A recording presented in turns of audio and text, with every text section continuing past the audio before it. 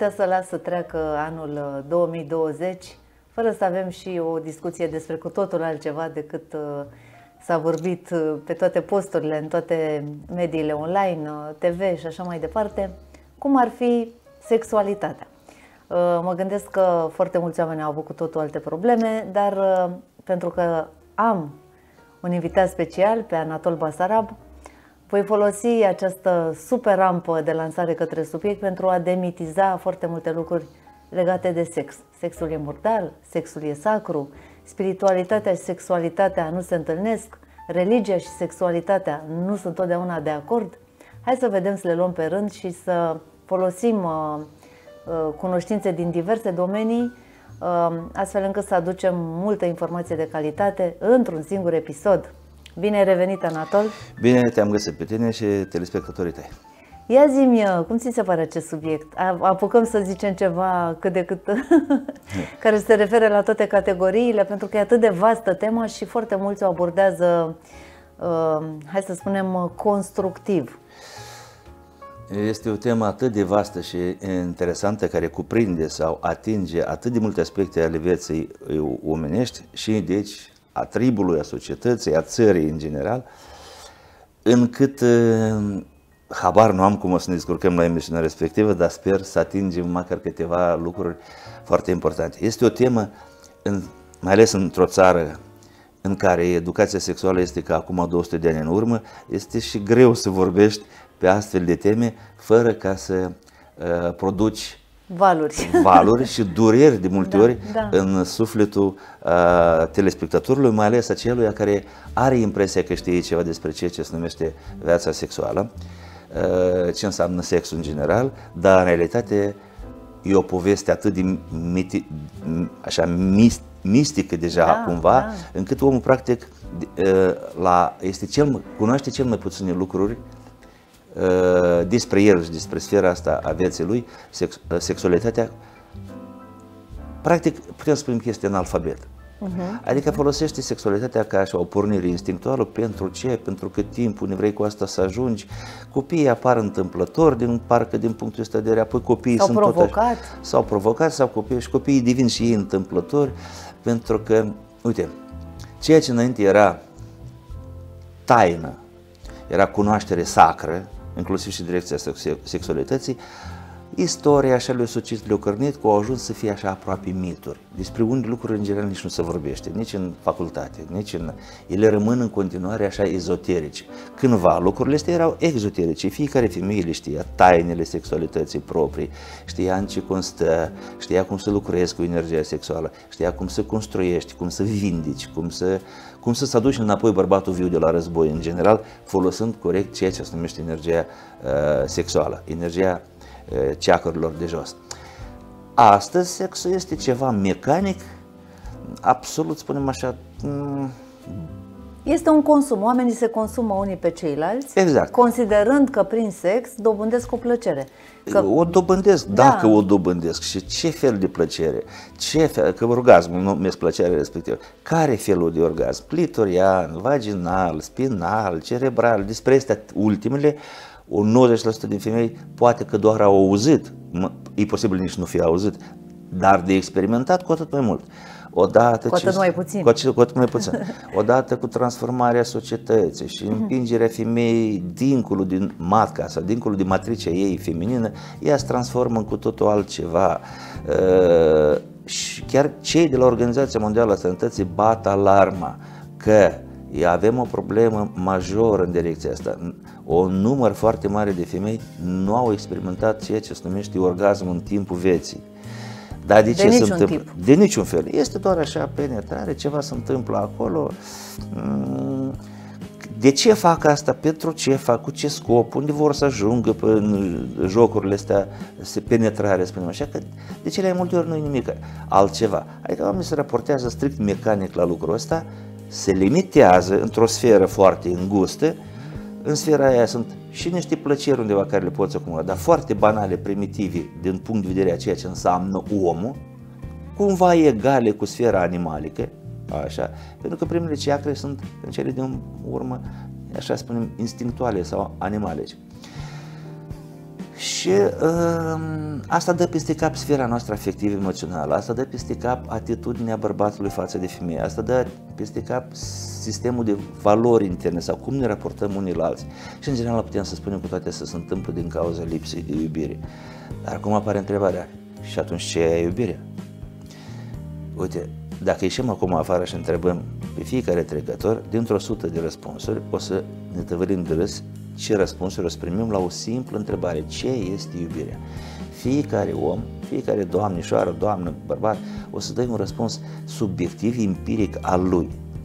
Și de aici o să vedem câți oameni atâtea iubiri, atâtea feluri de iubire. Adică fiecare iubește în felul lui. Eu așa cred că iubirea și eu te iubesc în felul meu. Tu cum mă iubești în felul tău? Da, dar mie, mie nu place felul tău de iubire, dar eu vreau altfel de iubire.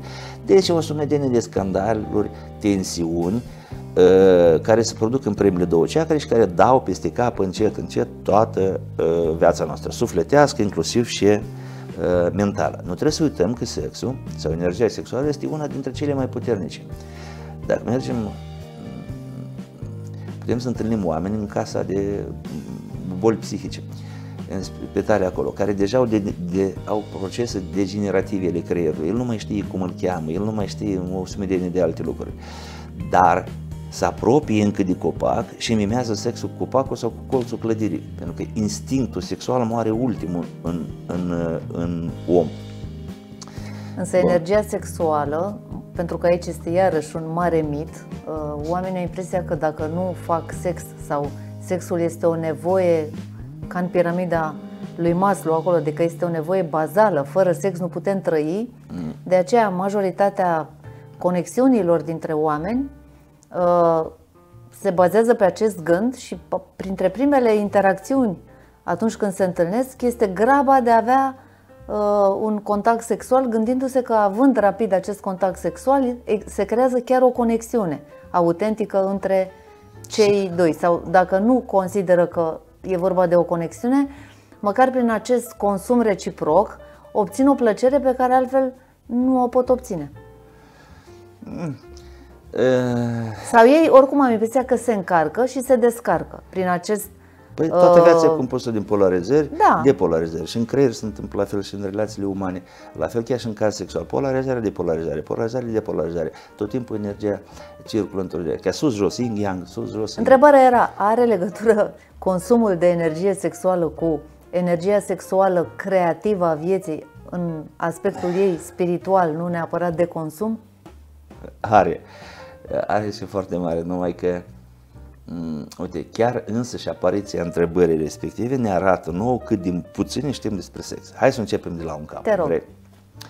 Uite, pornim de la conceptul iubire. Ce e iubire, de fapt? Și de aici o să vezi cum se modelează tot, adică uh-huh. cum se modelează inclusiv și relația sexuală. Gândește, mm, dacă noi avem o eroare cognitivă, inclusiv și în uh, descifrarea termenilor, folosim cuvinte în spatele căruia nu vedem nimic.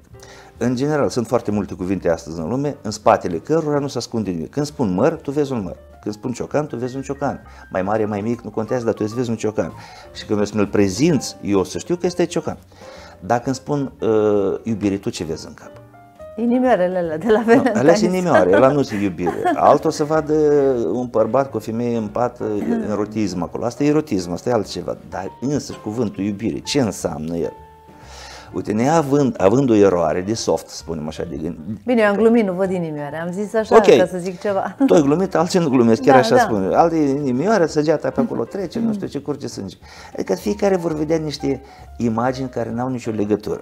Atunci când noi folosim imagini care în, în spate nu se ascunde niciun fel de imagine, adică folosim cuvinte în spatele căruia nu se ascunde nicio imagine, iar creierul nostru gândește în imagini, noi operăm tot timpul cu imagini, noi construim realitatea noastră înconjurătoare, inclusiv și relația interumană, în baza anumitor imagini mentale, și atunci când ne întâlnim cu un anumit cuvânt care nu are nicio imagine în spate, ăla putem spune un lucru drăcovesc într-un fel, spune. De ce? Pentru că obligatoriu ne va duce în eroare. E ca și cum te-aș spune, du-te acolo. Unde? Anume. Și vezi că dacă nu ajungi acolo, primești pedeapsă. Dar unde acolo? Uite, spun, dacă du-te la turnul Eiffel, tu știi unde trebuie să te duci, ai o imagine. Dacă da, du-te da, acolo, da, da. hai să facem ce, asta. Ce? Ceva. Ce e altceva? Ala poate să presupune bătaie, poate să presupune mângâiere, poate să presupune o serie de întreg de lucruri. Uite, ne întoarcem la cuvântul nostru ca să îi completăm imaginea și apoi de aici o să vedem cum se construiește viziunea asupra realității. Încă o dată, dacă omul are scăpări de soft, de imagine, de viziune asupra realității, are o greșeală, el înveață, în raport cu acea greșeală sau cu acel cuvânt, va face Dezvoltă... ce? Erori. Da. Va dezvolta mituri în jurul lui, va dezvolta tot felul de chestii, lucruri care nu vor coincide cu creația. Și în momentul când nu coincide cu creația, iar creația verifică tot timpul sufletul nostru, ca și mâna intră în mănușă și dacă nu se potrivește mâna cu mănușa, că degetul este prea lung, atunci trebuie redus, dacă degetul este de la mănușă prea scurt, trebuie împlinit, adică trebuie crescut și totul asta e suferință. Totdeauna asta e durere. Însă sufletul nostru sau spiritul nostru permanent într-o anumită perioadă de timp intră în corpul nostru ca mânușa în ce, ca mâna în mănușă și dacă găsește uh, discordanță sau ceva e prea mult, ceva e prea puțin, se pornesc procese reducționiste sau din potrivă procese uh, care, care tot înseamnă durere. Care totdeauna înseamnă durere. Adică spiritul verifică sufletul și cum stă el în propriul nostru corp, aproape că uh, permanent la nivele mai mici, odată la 3 ani la nivel mai profund și în detalii, odată la 9 ani și mai adânc și mai profund până la nivel molecular, spunem așa, sau celular. Bun. Cuvântul iubire vine de la cuvântul slav lubovi. Adică ce legătură are? Iubire cu lubovi. Păi are, pentru că lubovi, uh, cuvântul iubire, uh, rădăcina lui este din slavul vechi, lubovi. Cum s-a ajuns la asta? Și astăzi în Maramureș, de exemplu, se spune, eu o iubesc pe Maria, lubovnica mea, mm-hmm. sau lubovnică, sau o să mai tăiat o literă, spune iubovnică, mm-hmm. lubovnița mea. Și în rusă tot spune mai lubovniță, adică amanta mea sau iubita mea. Sau ea eu люблю, eu pe ea o iubesc, eu pe ea o iubesc, eu pe ea люблю, iubesc. Uh, um, uite, am ajuns la, la termenul respectiv, la rădăcina lui, adică provine de la iube, люблю eu pe oameni îi iubesc. Uh-huh. Asta este iubirea mea. Chiar și acum încă se mai folosește chestia mai aproape de graniță cu Ucraina, adică interferențele încă mai există, memoria culturală încă s-a păstrat, schimbul informațional încă s-a mai păstrat la un nivel mai adânc și atunci oamenii folosesc timp cuvântul mai aproape de rădăcina lui inițială. Lubovi, iubesc, iubesc. Lubovniță, iubovniță, iubire. Uh-huh. Ce înseamnă cuvântul slav vechi, lubovi? E compus din trei silabe care la bază fiecare silabă are ce? O imagine. O imagine, un set întreg de concepții și idei condensate în doar câteva cuvinte. Cum spunem, de exemplu, Bogdan. Bog e Dumnezeu întotdeauna și Dan înseamnă dar, adică darul lui Dumnezeu. Bog da prostie. Bog da prostie, adică Dumnezeu de mă iartă. Atunci când spui Bog da prostie, de fapt, fără să-ți dai seama, spui Dumnezeu de mă iartă. Dar dacă asta în cap nu vezi, tu rostești cuvântul fără să înțelegi ce spui. Tot așa când spunem Lubovi. Lubovi format din lu, люди, adică oameni, totdeauna în slava veche, silaba lu, unde apare, lu înseamnă люди, adică oameni. Uh-huh. Bo înseamnă Dumnezeu uh, și vi vine de la vedat, vedea, vizionare, veda, uh-huh. vedanta a vedea. Deci să formăm. Люди Бога ведают. Adică oamenii îl văd pe Dumnezeu. E acum gândește, dacă eu te iubesc, înseamnă că eu uitându-mă la tine, îl văd pe Dumnezeu. Cum va fi de aici atitudinea, relația, sexul, sexualitatea, ceva animalic sau totuși ceva, cum, ridicat la nivel de, uh, spunem așa, uman și poate chiar transces și devenind așa ceva angelic. Dacă eu uitându-mă la tine, văd un Dumnezeu. Înainte era și știut foarte bine, ezoterica vieții sau vedele spuneau că femeia este fiica naturii, iar bărbatul este fiul cerurilor. Să spunem așa, fiul lui Dumnezeu, fiica naturii. Adică eu când mă uit la tine, văd fiica naturii cum crezi că o să mă raportez eu la fiica naturii, știind că dacă o supăr, dacă o jignesc, dacă nu mă comport corect Super cu ea, întreaga natură. Super întreaga mama natură și odată ca bărbat, din punctul ăsta de vedere o să mă iau. Ori o să mă nec, ori o să mă lovească, ceva din natură o să fiu. Uh-huh. Tu cum ești te raportezi la mine dacă știi că eu sunt fiul cerului și prin mine tu vezi un Dumnezeu? Uh, nu Dumnezeu creatorul, perfect în toate, ci un început de Dumnezeu. Uite, atunci, o să știi că dacă îl jignești, dacă te comporți urât cu Dumnezeu ăsta, dacă îl încerci să Odată te trăznești. Odată se întâmplă ceva în direcția ta, uh-huh. din mhm. domeniul cu aerului sau focului. Adică, pasiunile tale vor fi date peste cap, adică focul tău interior, mintea, aerul va fi și asta dată peste cap și așa o să observăm că ce? Că acea femeie care schimbă des partenerii sexuali, tot timpul ce face? Își dă peste cap sistemul ei mental și sistemul ei focul. Adică se dă peste cap uh, pasiunile ei interioare, adică focul, arderea interioară, lucru care evident duce către ceea ce se numește îmbolnăvire. Nu. Acum, Acum mă gândește cam cum trebuie să fie sexul și relația intimă, sexuală, dintre un bărbat și o femeie, dacă ea vede în el un fiu de cer, fiul cerului, pe Luceafăr, așa cumva, iar el uitându-se la ea o vede pe fiica naturii. Și știi chestia asta, că dacă cumva nu te raportezi frumos, corect la fiica, reprezentanta fiica naturii, adică slujitoarea pământurilor și a apelor, adică și de spune, toate femeile, spune așa, toată lumea e o apă și un pământ. Nu, nu toată lumea. Femeile sunt o apă și un pământ. Bărbații sunt toți un aer și un foc. Dacă mai e bărbat, dacă nu a căzut în matrița feminină, și dacă e mai e femeie și nu cumva să ieși din matca sa și a început să se masculinizeze în comportament, în atitudine, pentru că atunci va începe să lucreze cu stihia aerului și focului, energii foarte tăioase, foarte rapide, ceea ce va face să distrugă cu corpul feminin. Prima dată va începe să se îngroașe picioarele, va începe să dispară talia, va apare burtă ca la bărbat, să vă lăță în umere și asta mentalitatea se va schimba, femeia deja nu mai este, dar bărbat nu va deveni niciodată în cele din urmă, adică el nu va deveni fiul cerului niciodată. Dar matca sa de femeie, matrița sa, deja au părăsit-o. Și bărbatul invers, el deja fiul cerului nu mai este, dar femeie nu va deveni niciodată indiferent ce vei face, nu vei deveni, pentru că sufletul tău este altfel construit și mentalul, că nu încape, nu se amulează niciodată pentru mănușa asta numită, forma asta de viață numită femeie, cu toate structurile. Bun. Sunt diferență. Da. E bun. Ce se întâmplă când eu toate lucrurile astea nu le știu și mă raportez la tine ca la un buz de carne viu? Ca la un aparat, ca la un sex mașină, ca la un sex bomb, ca la orice altceva. Atitudine care o fac strict mecaniciste. Adică toate orientările psihologice interioare vor fi orientate către satisfacția unor instincte porniri animalice, o descărcare oricare, o pulsi, a pulsiunii interioare, instinctuale, te-ai descărcat, dar n-ai creat nimic bun. De ce? Pentru că tu, ca bărbat, te-ai descărcat, dar înapoi ce ai primit? Și cât crezi că poți să te descarci?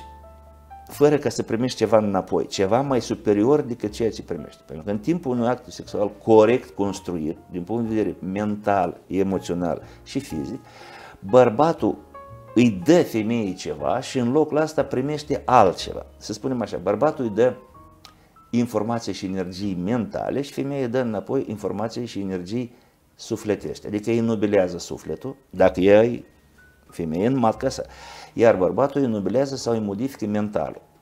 Ambii au ceva de câștigat. Dar când atitudinea este strict ca de un sex machine, probă la aparate, așa, sex ca probă la aparate, gimnastică, nu ceva, atunci nimeni nu primește nimic. Fiecare dă ceva, dar în schimb nu primește nimic. Tocmai de aia un bărbat se poate duce într-o relație sexuală strict mental și a doua zi poate să uite cum o, cheme, cum o chemat-o. Dar o femeie nu va intra într-o relație sexuală decât dacă nu are niște porniri emoționale, prima dată. Așa ar trebui. Cu sufletul. Uh-huh. Așa ar trebui dacă vorbim de femei normale, sănătoase încă psihic sau sănătoase spiritual sau sănătoase la cap. Cine nu e așa, atunci deja o putem urmări evident prin viață cum încep să apar tot felul de probleme, inclusiv de interacțiune dintre lumele ei interioare pe verticală și interacțiunile eronate sau greșite sau păcătoase pe orizontală între ceilalți bărbați și între celelalte uh, femei.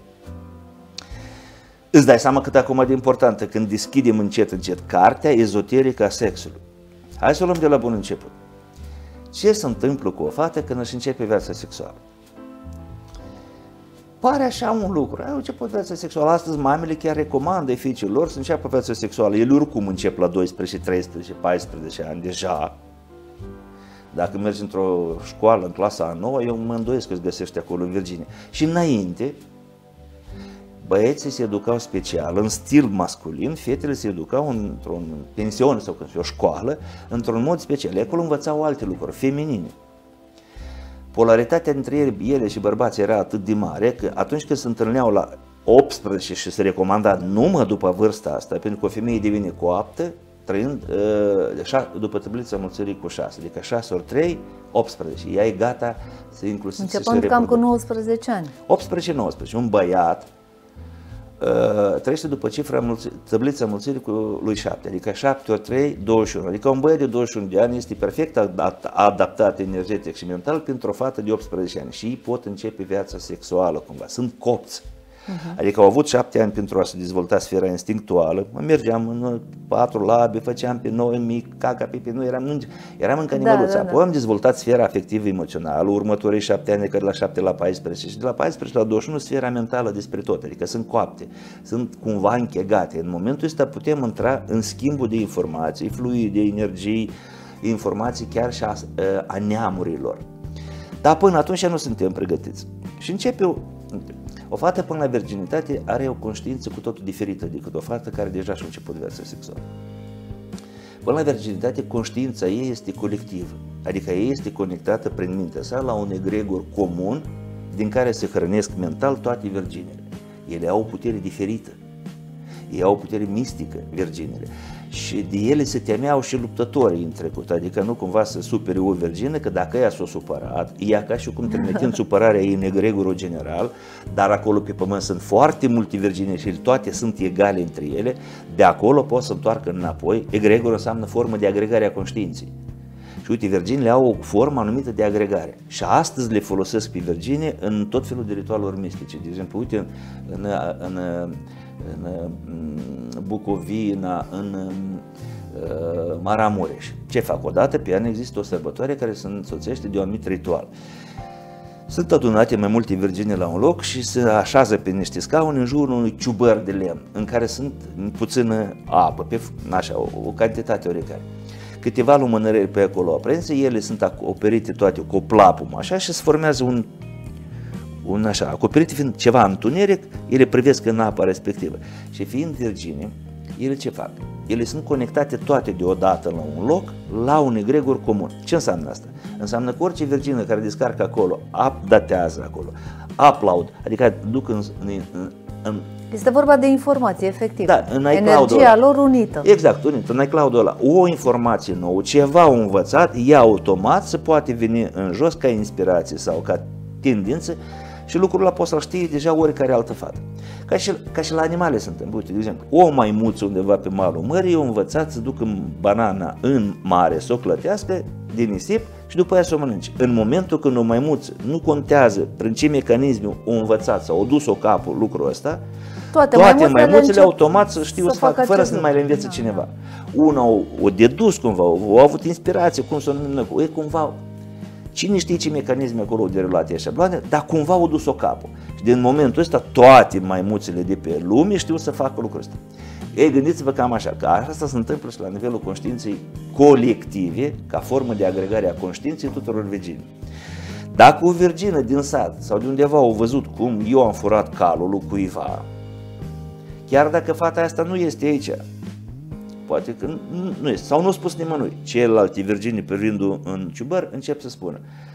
Luni, asta, ce, ele văd ce s-a întâmplat peste an.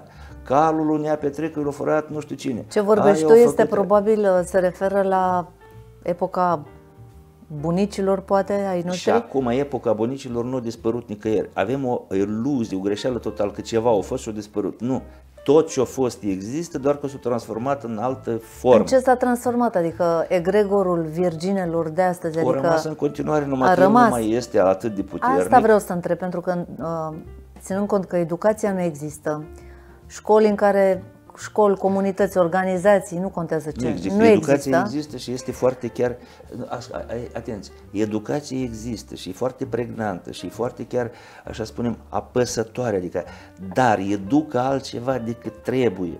Asta e cu totul altceva. Păi da, nu, eu mă refer la cea despre care vorbim noi, A. în ah. sensul în care cumva ar trebui să fie disponibile tuturor virginelor de astăzi, da, ceea ce noi discutăm în acest moment. Bun, hai să vedem ce câștigă. O virgină și ce are de pierdut. Da. Ne întoarcem întâi la ritual ca să-l terminăm. Uite, ele peste an văd ce, cine și ce au făcut în sat. Și oamenii verifică și uh, asta chiar este. De ce? Pentru că odată undeva o virgină a văzut ceva, chiar dacă mormânt nu va spune nimănui nimic, celelalte virgine pot să iei informația din iCloud-ul respectiv sau downloadeze să știi ce s-a întâmplat peste ea. Nu fel de clar viziunea. Uh-huh. Dar nu pot face ritualul ăsta și nu pot dobândi astfel de informații decât virginile. Punct. Trece o perioadă de timp și virgina uh, ce face? Uh, intră într-un proces de deflorare, dezvirginare și începe viața sexuală. Odată. Viața sexuală este de așa natură făcută încât e mai bine să nu începi, dacă nu ai cu cine continua. Dacă ai început-o și nu ai cu cine continua, ă, atunci sistemele hormonale, gândul există, dorința au apărut, începi să-ți dorești, imaginații, furtuni hormonale, dar din treținut asta nu ai cu cine. Structura hormonală poți dai atât de mult peste cap din cauza asta, că ce? Că există multă dorință, dar există puțină putință, încât fata începe să îngra, așa apar tot felul, adică tot felul de reglări hormonale care dau peste cap ce? Nu te pui cu hormone, cu structura hormonală. Simțămintele, nu mai știi ce sunt, se nervează, se comportă, aiurea, urlă, isterie, nu știu. Și asta afectează inclusiv ce? Ordinea mentală, ordinea de a vedea lucruri. În momentul când acea o fată s-a dezvernat, gândiți-vă ca mecanică. Asta e foarte important sau foarte rău că noi nu cunoaștem nici mecanica cerească, nici oricare tip de mecanică. Dar în noi sunt procese mecanice, automatizate, unele mecanice, care trebuie să le cunoaștem. Spun asta tot timpul. Înainte de a deveni psiholog sau numerolog sau ce vrei, e bine să devii înainte de asta să studiezi mecanica. Că stai de a face cu mecanica unde. Inclusiv și mecanica fluidilor. Dacă mm-hmm. nu mhm. cunoști mecanica fluidilor, poți să faci dragoste și ea să nu rămână sărcinată niciodată și nu știi de ce. Ai încălcat legile mecanice, adică fluidilor, mecanica fluidilor. Bun. Um, în momentul când este dezvirginat, energia acelui bărbat pătrunde pentru prima dată în momentul exploziei, uh-huh. ejaculării. Nu vă dați seama ce cantitate de energie e acolo. Dacă cantitatea de energie care împinge lava și o explodează în afară ar fi ridicat la nivelul unui vulcan, ă, acel vulcan dacă ar exploda pe pământ odată, cum se întâmplă în actul sexual, pe pământ n-ar mai rămâne nimic viu. E o putere imensă, o energie imensă care trebuie să împingă lava, sau, da. concentrată, să împingă lava sau spermatozoize undeva acolo. Așa. Acea energie este compusă din două componente. Componenta materială, adică spermatozoidul, cu toată informația lui genetică, cu toate apucăturile deja înregistrate ale celui bărbat, cu toate problemele lui, viziunile lui, și componenta nematerială, adică energia, care deține în interiorul ei tot un fel de informații, dar nu, nu la nivel de particulă, ci la nivel de undă. Asta este cunoscut în mecanic, adică în fizica cuantică. Acea energie pătrunde în corpul acelei uh, fete, domnișoare, pentru prima dată. Și în momentul ăsta nu face nimic altceva decât îi amprentează toate ovulele ei pentru tot restul vieții. Bărbații au un avantaj sau dezavantaj, nu știu, nu știu cum să spun. Dar suntem construiți diferit. La ei spermatozogeneza se produce de fiecare dată. Uite, de exemplu, dacă astăzi m-am îmbătat rău de tot, nu știu cum, acolo spermatozozii acelui bărbat nu mai sunt capabili de reproducere. Sunt morți sau semi-vii. După șapte, și deci ei sunt distruși. Dacă cumva totuși s-ar produce o însărcinare, cumva, acela spermatozoid distrus în felul dat peste cap genetică, întâlnindu-se cu ovulul femeii, va reproduce un copil și apoi ne, ne vom da. De ce are capul patrat sau ce știu eu acolo? Pentru că l-ai făcut la bețâi, spunem așa. Dar de obre, natura cumva a prevăzut chestia asta în așa fel încât spermatozoizii să nu aibă vitalitatea necesară în ei, să nu poată pătrunde până acolo și să nu-ți poată unic. Și chiar dacă ajunge să nu poată penetra membrana ovulului ca să pătrundă înăuntru. După 74 de ore, un bărbat are o altă doză de spermatozoizi absolut noi nouți, informați din nou, care nu mai au nicio legătură cu, spermat, cu bețeia de trecut. Nu știu nimic despre asta, sunt noi nouți. Ei, la o femeie, odată pătruns energia acolo, ea, are, ea nu reproduce ovule toate restul vieții. Că în momentul când a început ovulația, când a început uh, ciclul menstrual, în momentul respectiv, la o domnișoară, de, ea are un număr de ovule limitate, spunem 14.000, să zicem. Și astea le ai, mai mult de atâtea nu ai în cursul vieții și nici nu mai reproduci, nu mai crește altele. Bun. În momentul când acel bărbat a amprentat informațional și energetic cu ovulile acelei femei, ă, prin asta nu a făcut nimic altceva decât instantaneu o conectat-o la egregorul neamului tău. Acea femeie, fără să-și dea seama de aici mai departe, ce va face? Ea va trimite energii către egregorul meu, dacă se ăla, dar înapoi de acolo va primi ce? Informații. De aia o să vedeți că o fată, asta sunt întotdeauna, dacă eu sunt avocat și tu nu ești avocat, dar odată căsătorit tu cu mine, conectată la egregorul meu, tu o să începi încet, încet să devii puțin avocat. Dacă eu sunt pictor, o să devii și tu puțin pictor. Dacă neamul nostru de afaceriști, neamul tău de agricultori. Încet, încet o să prinzi gustul afacerilor pentru că o să primești, dai încolo informații, energie și înapoi primești informații. Cât energie dai, cu atât mai multă informație. Și brusc, din tine o să înceapă să trezească ceva un afacerist. Nu sunt informațiile tale, sunt upload. Le iei de acolo, le primești ca inspirație.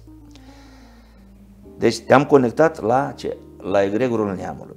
Dar dacă neamul nostru este de haiduci, de bandiți, de ucigași undeva, iar neamul vostru sunt de agricultori. Că nu se înceapă să vină informația asta peste tine, cred că o să te șocheze așa, puțin.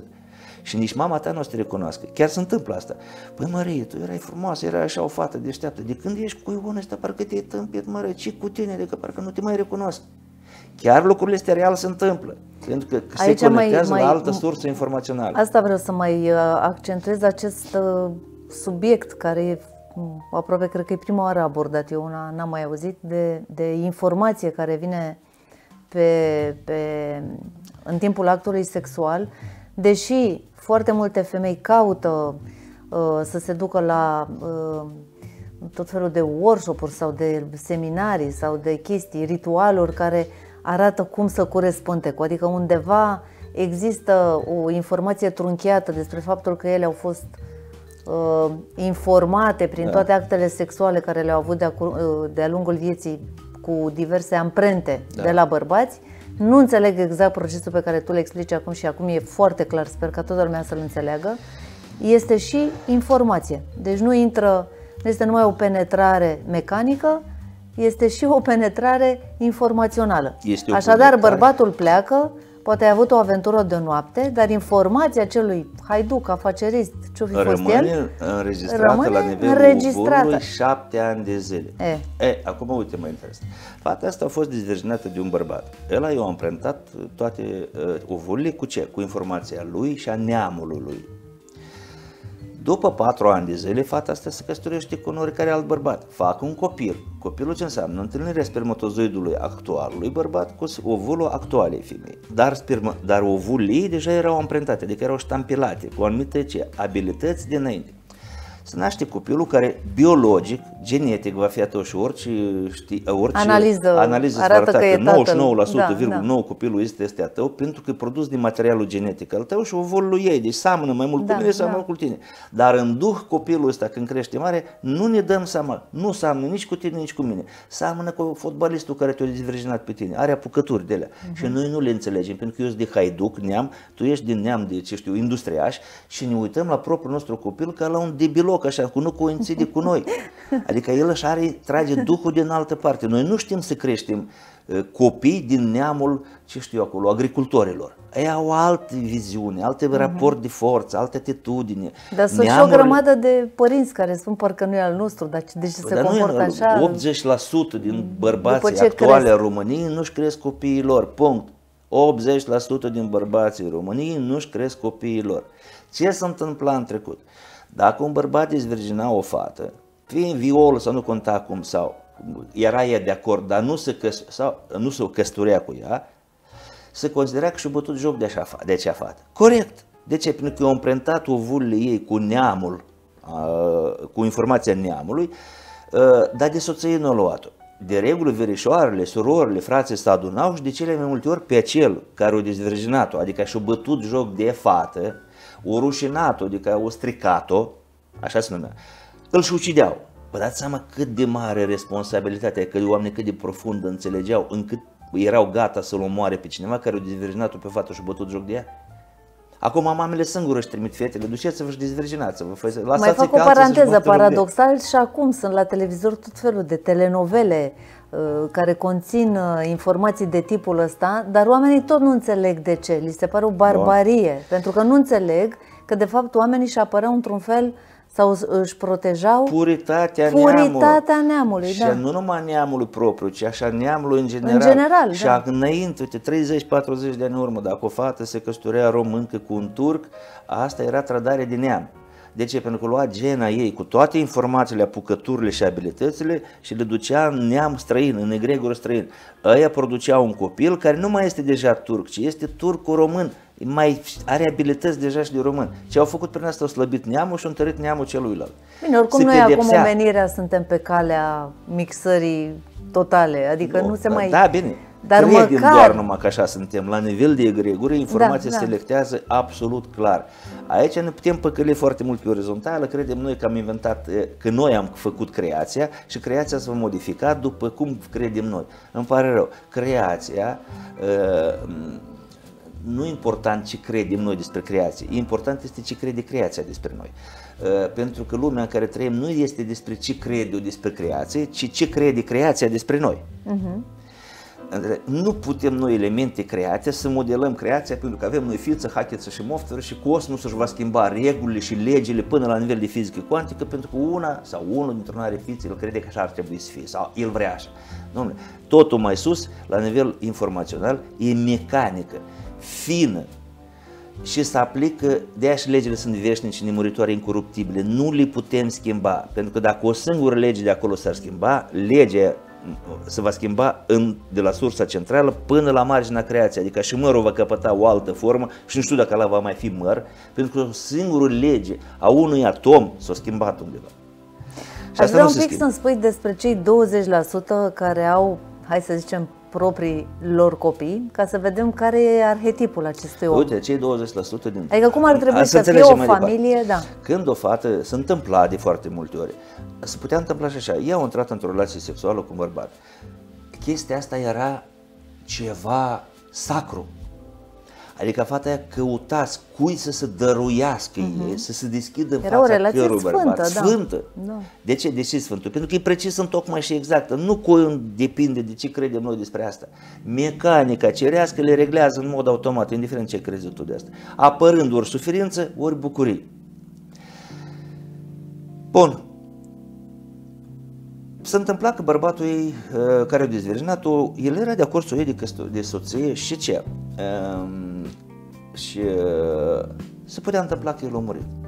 Niciun alt bărbat nu se mai căsătorea cu acea femeie timp de șapte ani de zile. Pentru, și numai dacă în acei șapte ani de zile ea nu mai întreținea relații sexuale cu vreun alt bărbat. Pentru că de fiecare dată întreținând relații sexuale cu un alt bărbat, ce face? Acel bărbat vine și lasă ce amprenta lui informațională acolo și încă unul, și încă unul, și încă și uterul devine o mare sufragerie în care chipurile, informații, adică niște imagini, chipuri a tuturor acelor bărbați uh, sunt deodată toți acolo. Uite, de exemplu, și apropo, e ca în viață. Să presupunem că o domnișoară a avut 20 de parteneri hai să facem un experiment. Dacă cei 20 de parteneri a tăi odată îi aduci la o zi a ta de naștere și pui pe toți la o masă fără că ei să știe că toți au avut sex cu tine.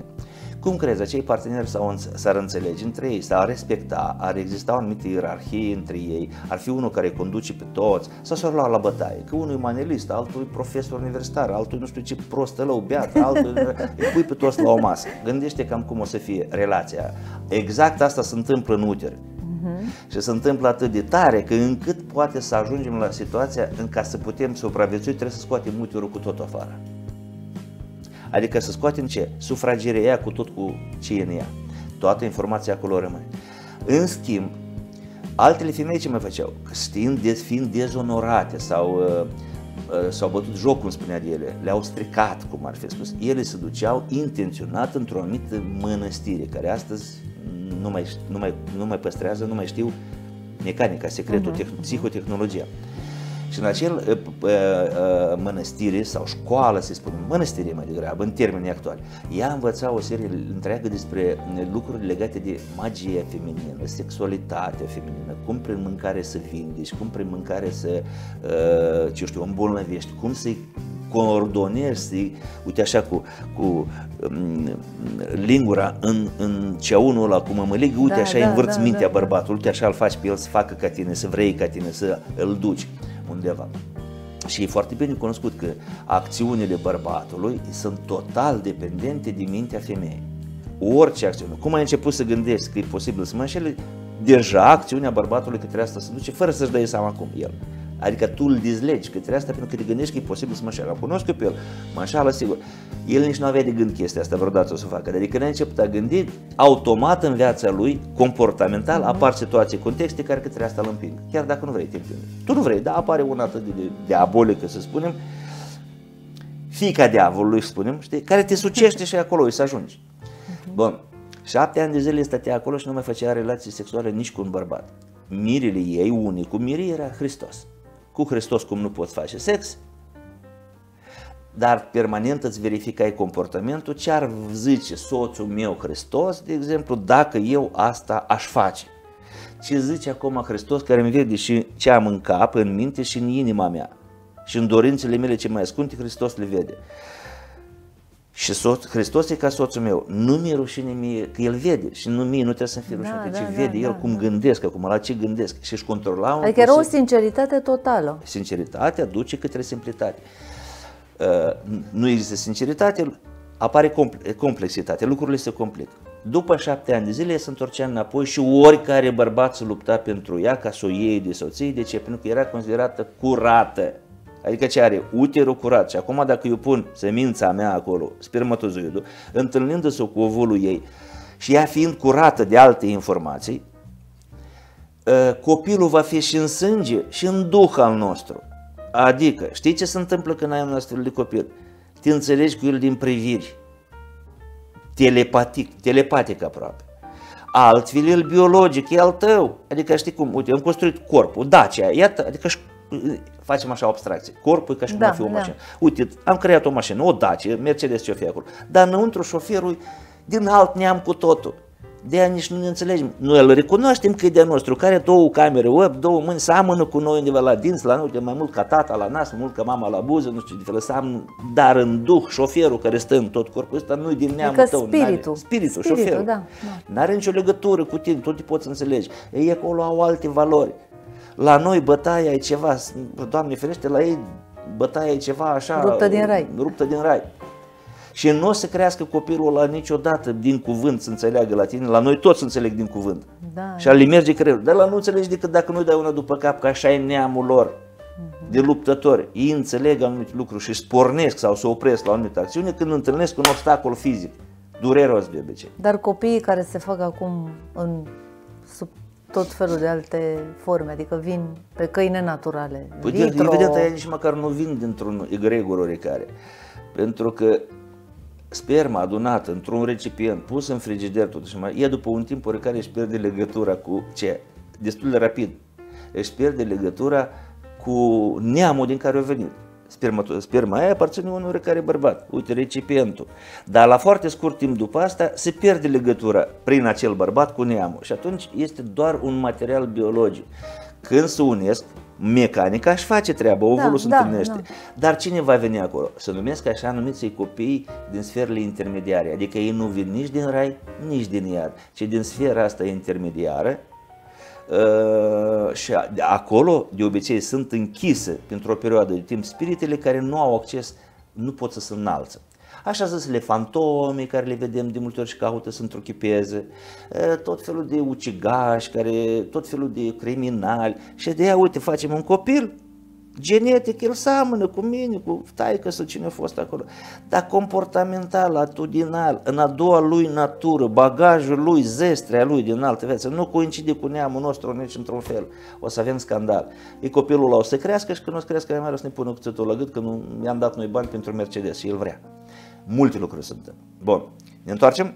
Te rog. Deci, de șapte ani de zile, oricare bărbat era gata să uh, căsătorească cu acea femeie. Femeia știa că primii patru copii care vin în viața ei vin de pe linia genetică a soțului. Primii patru. Da. Primul, adică, uite, suntem soț, soție. dar soțul a avut cel un mamă, un tată și ea a avut un mamă, un tată. Tot așa ne ducem în față să uh-huh. întâmplă un arbore foarte. Primul contact sexual, primul copil vine pe linia genetică, adică ce este reprezentantul tatălui, tatălui tatălui, bunicului, străbunicului, străstrăb... adică pe linie numai masculină. Uh-huh, uh-huh. Și știind de ce erau bolnavi vreodată sau cum au trăit, toate caracteristicile astea pe linie masculină a soțului se vor regăsi în comportamentul și în fiziologia copilului ăsta. Al doilea copil este uh, întruchiparea uh, liniei feminine, adică ce o reprezintă pe mama, pe bunica, pe străbunica, pe străstrăstrăbunica, tot așa. Și știind că... Tot din partea tatălui. Tot din partea tatălui. Uh, și următorii doi copii la fel. Și atunci de-aia și-o luau pe o femeie, ca să ce? Să uitau ca să fie sănătoasă, ca să nu fie murdară din punct de vedere informațional, pentru că ea trebuie să-mi coboare cine? Neamurile mele pe pământ la reîncarnare. Că dacă uh, nu se întâmplă lucrul ăsta, atunci neamurile o să răzbune pe mine pentru că le-am închis posibilitatea de a se reîncarna, poarta de a intra. Și abia următorii patru copii, femeia abia aștepta să-i facă pentru că ce? O să-și coboare uh-huh. propriile neamuri pe pământ. De aia de multe ori chiar așa și împărțau copii. Primii mei cu patru copii aveau un nume de familie, de exemplu, uh, dar următorii patru copii ca și cum erau atei. Și de aici apăreau tot felul de discuții, știi, în, în trecuturile da, da, de părere. Da, da. Uite băi ai mei, îi vezi pe mei cum se comportă. Neamul ăsta nostru, basarab, da, da, ce este. Da. Uite neamul vostru ce face. Uite cum se, uite cum nu înțeleg, nu învață. Neamul vostru este asta. Ei, neamul vostru. Cine Stră, stră, stră bunica. Cine e? Stră, stră, nu știu ce. Uh-huh. Așa. Bun. Uh, și deci ele abia așteptau conștient să facă următorii patru copii, adică 5, 6, 7, 8. De era absolut normal să ai 8 copii, 12 copii. De la 8 copil, următorul a 9 iară vine de pe linia masculină. În schimb, se știau că e mare deci păcat deci, să faci scuze, avort, de exemplu, da, sau în... să întrerupi orice. Uh, de, de ce? Pentru că în momentul ăsta tu, pe o ramură, ai închis rubinetul, drumul sau calea ca strămoșul tău să se întruchipeze. Întrebarea era, deci sexualitatea, așa cum o trăiesc tinerii sau generațiile chiar și ale noastre, astăzi, în prezent, nu mai au legătură cu ceea ce vorbești, pentru că atunci sexualitatea era pusă direct în slujba procreerii, adică tu conștientizai corpul tău, identificarea ta cu corpul tău avea ca și obiectiv realizarea unei familii sănătoase, Înțelegeai toate aceste informații, cum să poți aduce beneficii în viața și în familia ta? Ok, nu mai eu. Pe când crede. astăzi sexualitatea nu mai are, cred că, nu știu, dacă, dacă ar fi așa să fie o ață, nici nu știu de ce subțirime am vorbit, de ce calitate Evident, acelei asta vreau să spun. Noi credem că nu are, dar are cei mai directă. Noi și acum, prin sex, prin reproducerea copilului, coborâm neamurile. Important, a cui sunt neamurile care le coborâm? Că dacă nu sunt a noastră să producă desincronizare, nu știm să lucrăm cu alte neamuri. Fiecare păsărică, știi, să simte bine cu păsărica ei. Adică rândunelile cu rândunelile, vulturul cu vulturul, bufnițele cu bufnițele. Putem să ne căsătorim unii cu alții, asiatic cu nu știu care, dar o să vezi că apar o serie de bariere de neam, informaționale. El nu înțelege poveștile tale, el nu înțelege cântecile tale, el nu înțelege apucăturile tale românești, tu nu le înțelegi pe lui și tot timpul apare o barieră lingvistică, tradițio- a tradițională, culturală, Le am trăit din plin, nu zi Și toate că... lucrurile astea, uite, da. ele nu duc către... De ce? Pentru că așa e făcută natura, fiecare specie cu al lor. În felul ăsta ce fac? Specia se mulțește, se întărește prin permanentă upgradare genetică. Genele proaste dispar, genele bune se, ce? se amplifică se ridică, de la unul da, în altul. Da. Și atunci poporul poate să ajungă la un moment dat să aibă caracteristici, spunem așa, psiho-paranormale aproape uh-huh, poporul ăla. De ce? Pentru că au legătură cu strămoșii și chiar și la o luptă. Noi nu suntem în lupta asta singuri, fizic, aici noi suntem noi, dar în spatele nostru strau legăturile sau conexiunile energetice cu strămoșii. Țineți minte, în Biblie este un caz când voievodul îi spune soldaților, adică soldații spun, Doamne, voievode, cum, cum gândim noi în general să câștigăm lupta, cât uite cât sunt ei dimineața la răsăritul soarelor, oștile pe câmp, în câmp și când s-au uitat în partea și au văzut cât sunt, cum putem să îndrăznim cu ei, să luptăm și să mai gândim că putem câștiga, uite cât sunt ei și cum sunt și cât suntem noi. Și comandantul se roagă la Dumnezeu, cum ar fi spune, Doamne, deschide-le ochii ostașilor mei ca să vadă de fapt cât de mult suntem. Și el deschide ochii și când se uită în spate, văd ce strămoșii nevăzuți, mulți, ca și fantome, spunem așa, nevăzut, mm-hmm. dau bătăile respective și deși erau mai puțini la număr, câștigă. Biblia ne spune, și nu numai Biblia, scripturile, că sunt vedeci, că sunt, toate ne povestesc același lucru și informația asta niciodată nu a dispărut. Ea numai s-a subtilizat, a fost așa ascunsă, ca și uite telegonia. Când a apărut procesul, știință, a luat cineva premiul Nobel pentru asta, telegonie, wow, lumea și-a dat seama că de fapt străbunii noștri nu erau nebuni când țineau la virginitate, la puritatea feții, fetii. Nu erau deloc nebuni. Dar după asta, ce? Rapid subiectul s-a... Deci a fost făcut public pentru cine trebuie. Repede s-a ascuns și acum dacă vorbești de telegonie, în general te iau de prost. Ca și multe alte. Uite, s-a deschis procesul și a apărut ideea, eterul sau efirul, uite, cum lucrăm cu energia asta, ce înseamnă asta?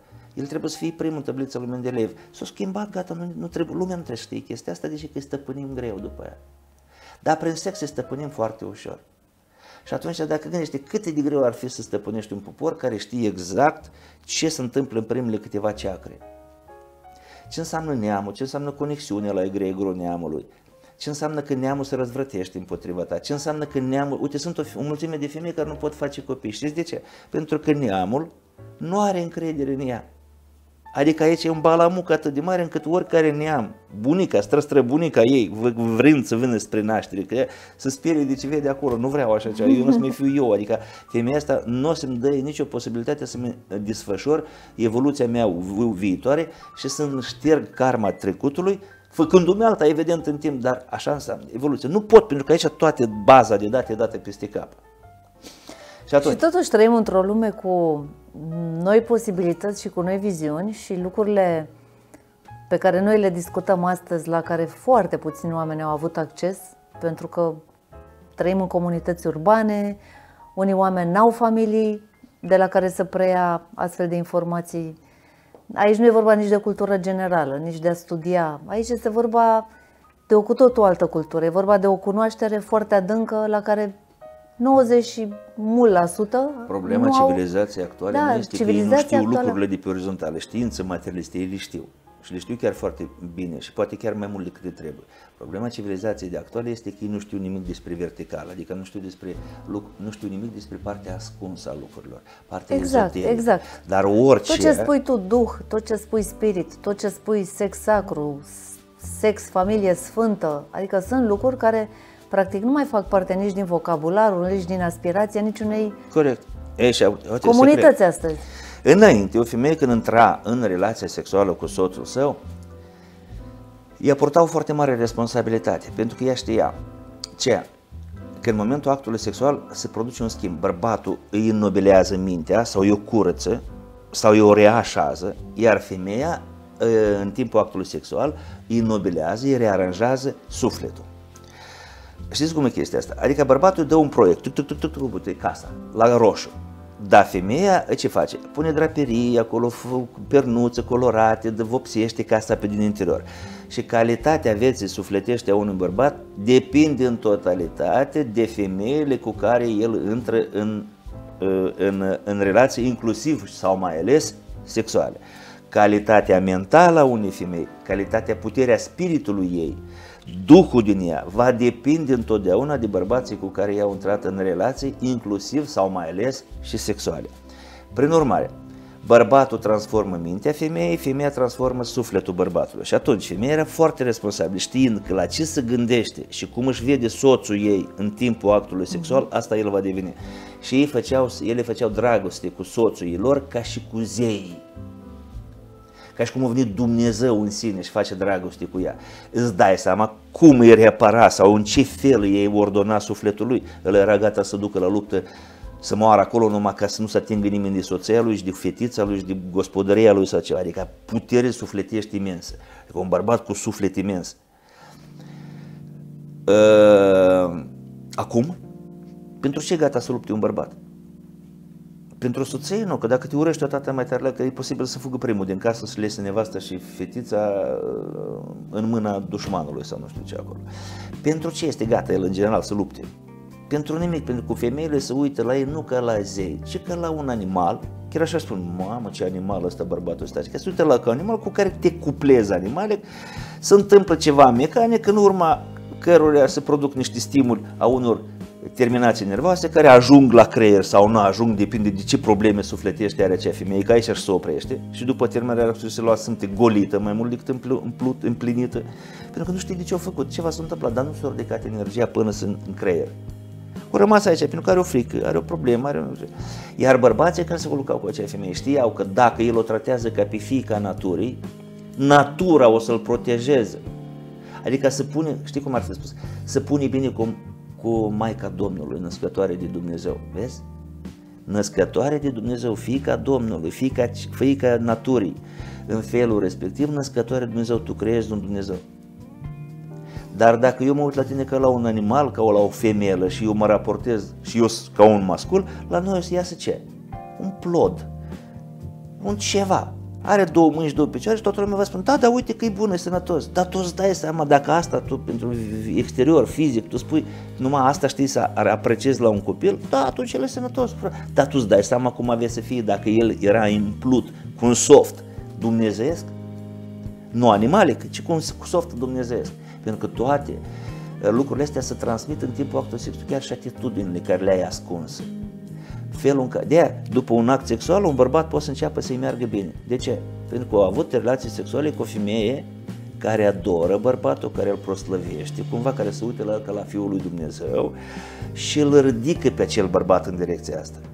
Dar cu altă femeie poți să faci sex. Și uite un te a oprit poliția de șapte ani, nu ți minte. Ieri te-a oprit poliția, ieri ți-a furat oglinda, s-a spart roata, încep tot felul de necaze și tu ca bărbat deștept ce ești, dacă cunoști sexualitatea, lucrurile astea știi, bam, m-am încurcat cu una care mă trage în jos. E o femeie care te duce în jos și dacă stai mult timp lângă ea, o să ajungi în cimitir.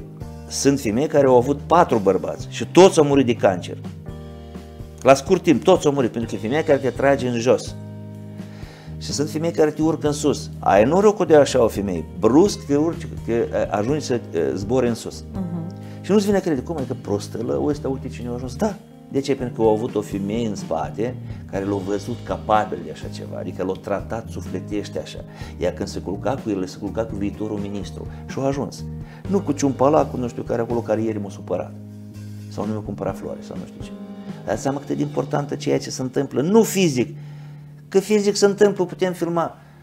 Dar dacă ne uităm la casetă ce am filmat, de acolo nu o să înțelegem nimic decât fizica evenimentului. Dar unde e psiho? Pentru că lucrurile se întâmplă complet, numai atunci când se întâlnește psiho-fizica. Uite, psiho-fizica, de aia pentru tine fizica e foarte importantă cum arăți, pentru că bărbații iubesc cu ochii.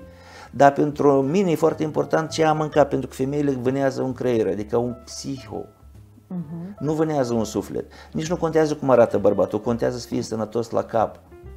Dar pentru un bărbat nu contează cum, cât de multă minte are o femeie, pentru că pentru mai multă minte o să mă duc la alt bărbat totdeauna. Pentru mai multă minte nu o să mă duc la o femeie. O să mă duc la un bărbat și dacă acel bărbat e unul pe glob, pe ăla să-l găsesc. Și dacă nu e bărbat Dumnezeu, cineva tot de acolo, din ăla, o sursă, o să încerc să primesc inspirație în ceea ce se numește spiritul sau informația. Dar fizica trebuiește. Și atunci, uite, oamenii ne te știau, ea trebuie să fie fizic sănătos, maxim de sănătos, pentru că tot ce organe uh, roșii în interiorul corpului sunt de la mamă. Inima, ficatul, trebuie, adică tot ce e roșu, inclusiv sângele. Și atunci trebuie să fie, putea să aibă și 18 ani, 20 de ani, tânără și frumoasă sănătoasă. Nu conta ce minte avea ea acolo, că era profesor universitar sau nu era, liberă sau independentă sau nu. El trebuia să fie mai în vârstă, adică trebuie să aibă foarte mult bagaj și experiență psihică, dar încă să nu se defidilit. Adică să nu fi fost dus puțin cu pluta. Și atunci el putea să aibă și 40 de ani. Import, pentru că la el nu important era cât e de corpul sănătos, ci cât e de mintea. Și uite, mintea sănătoasă într-un corp sănătos producea un geniu de copil.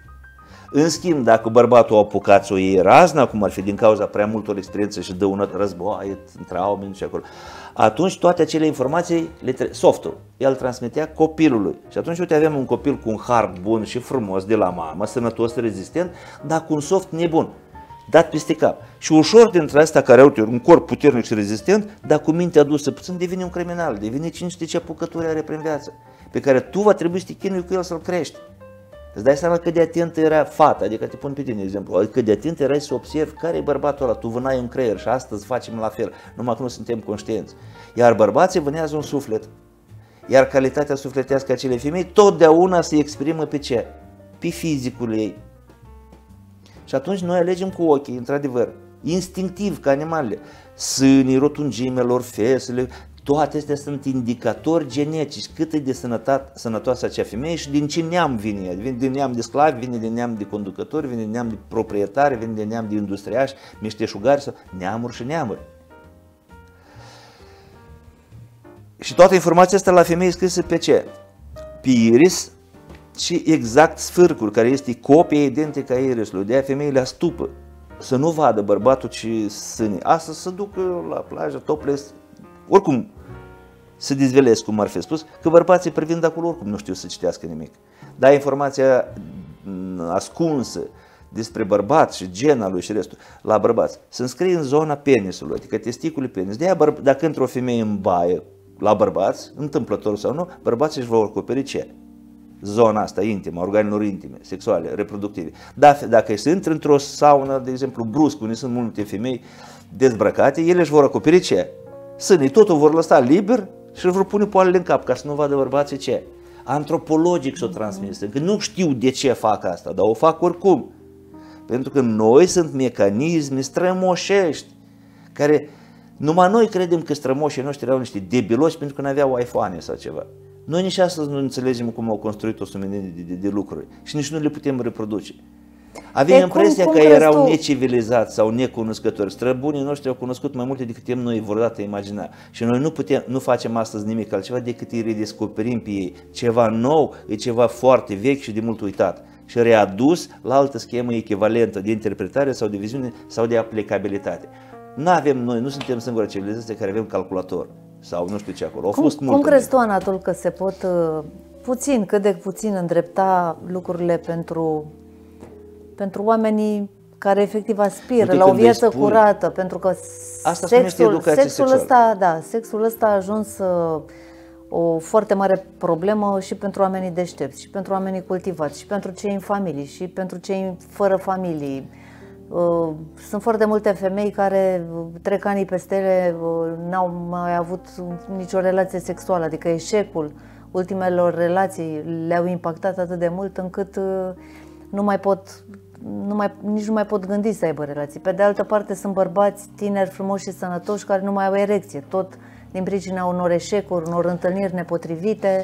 Din pricina... Uh, din pricina la bărbați și din acum. Sexul la bărbați se află în creier cel mai erotic, erogen zona a bărbatului în creier. Acolo. Dacă femeia știe să excite creierul, sunt întâmplă Pe asta zic, dar dacă am întâlnit mai multe femei care nu știu să excite creierul, gândește-te că cea mai dezvoltată industrie a zilelor noastre este videochatul, pentru că Bun, acolo am înțeles. mintea Luana, bărbatului... Nu Stai așa, nu pierdem timp, uite da. Dacă bărbatul a întâlnit așa astfel de femei care tot timpul l-au inhibat sau nu știu, făcut, asta e problema lui de soft trebuie și el să o repare, nu dă vina pe femei, că am întâlnit șapte femei care m-au călcat în picioare, nu știu cum m-au înhibat și de aici încolo eu mă tem de femei. Ce fel de bărbat ești tu, mă tem de femei? Nu știu cum spun, adică e o problemă, tu nu ele au o problemă.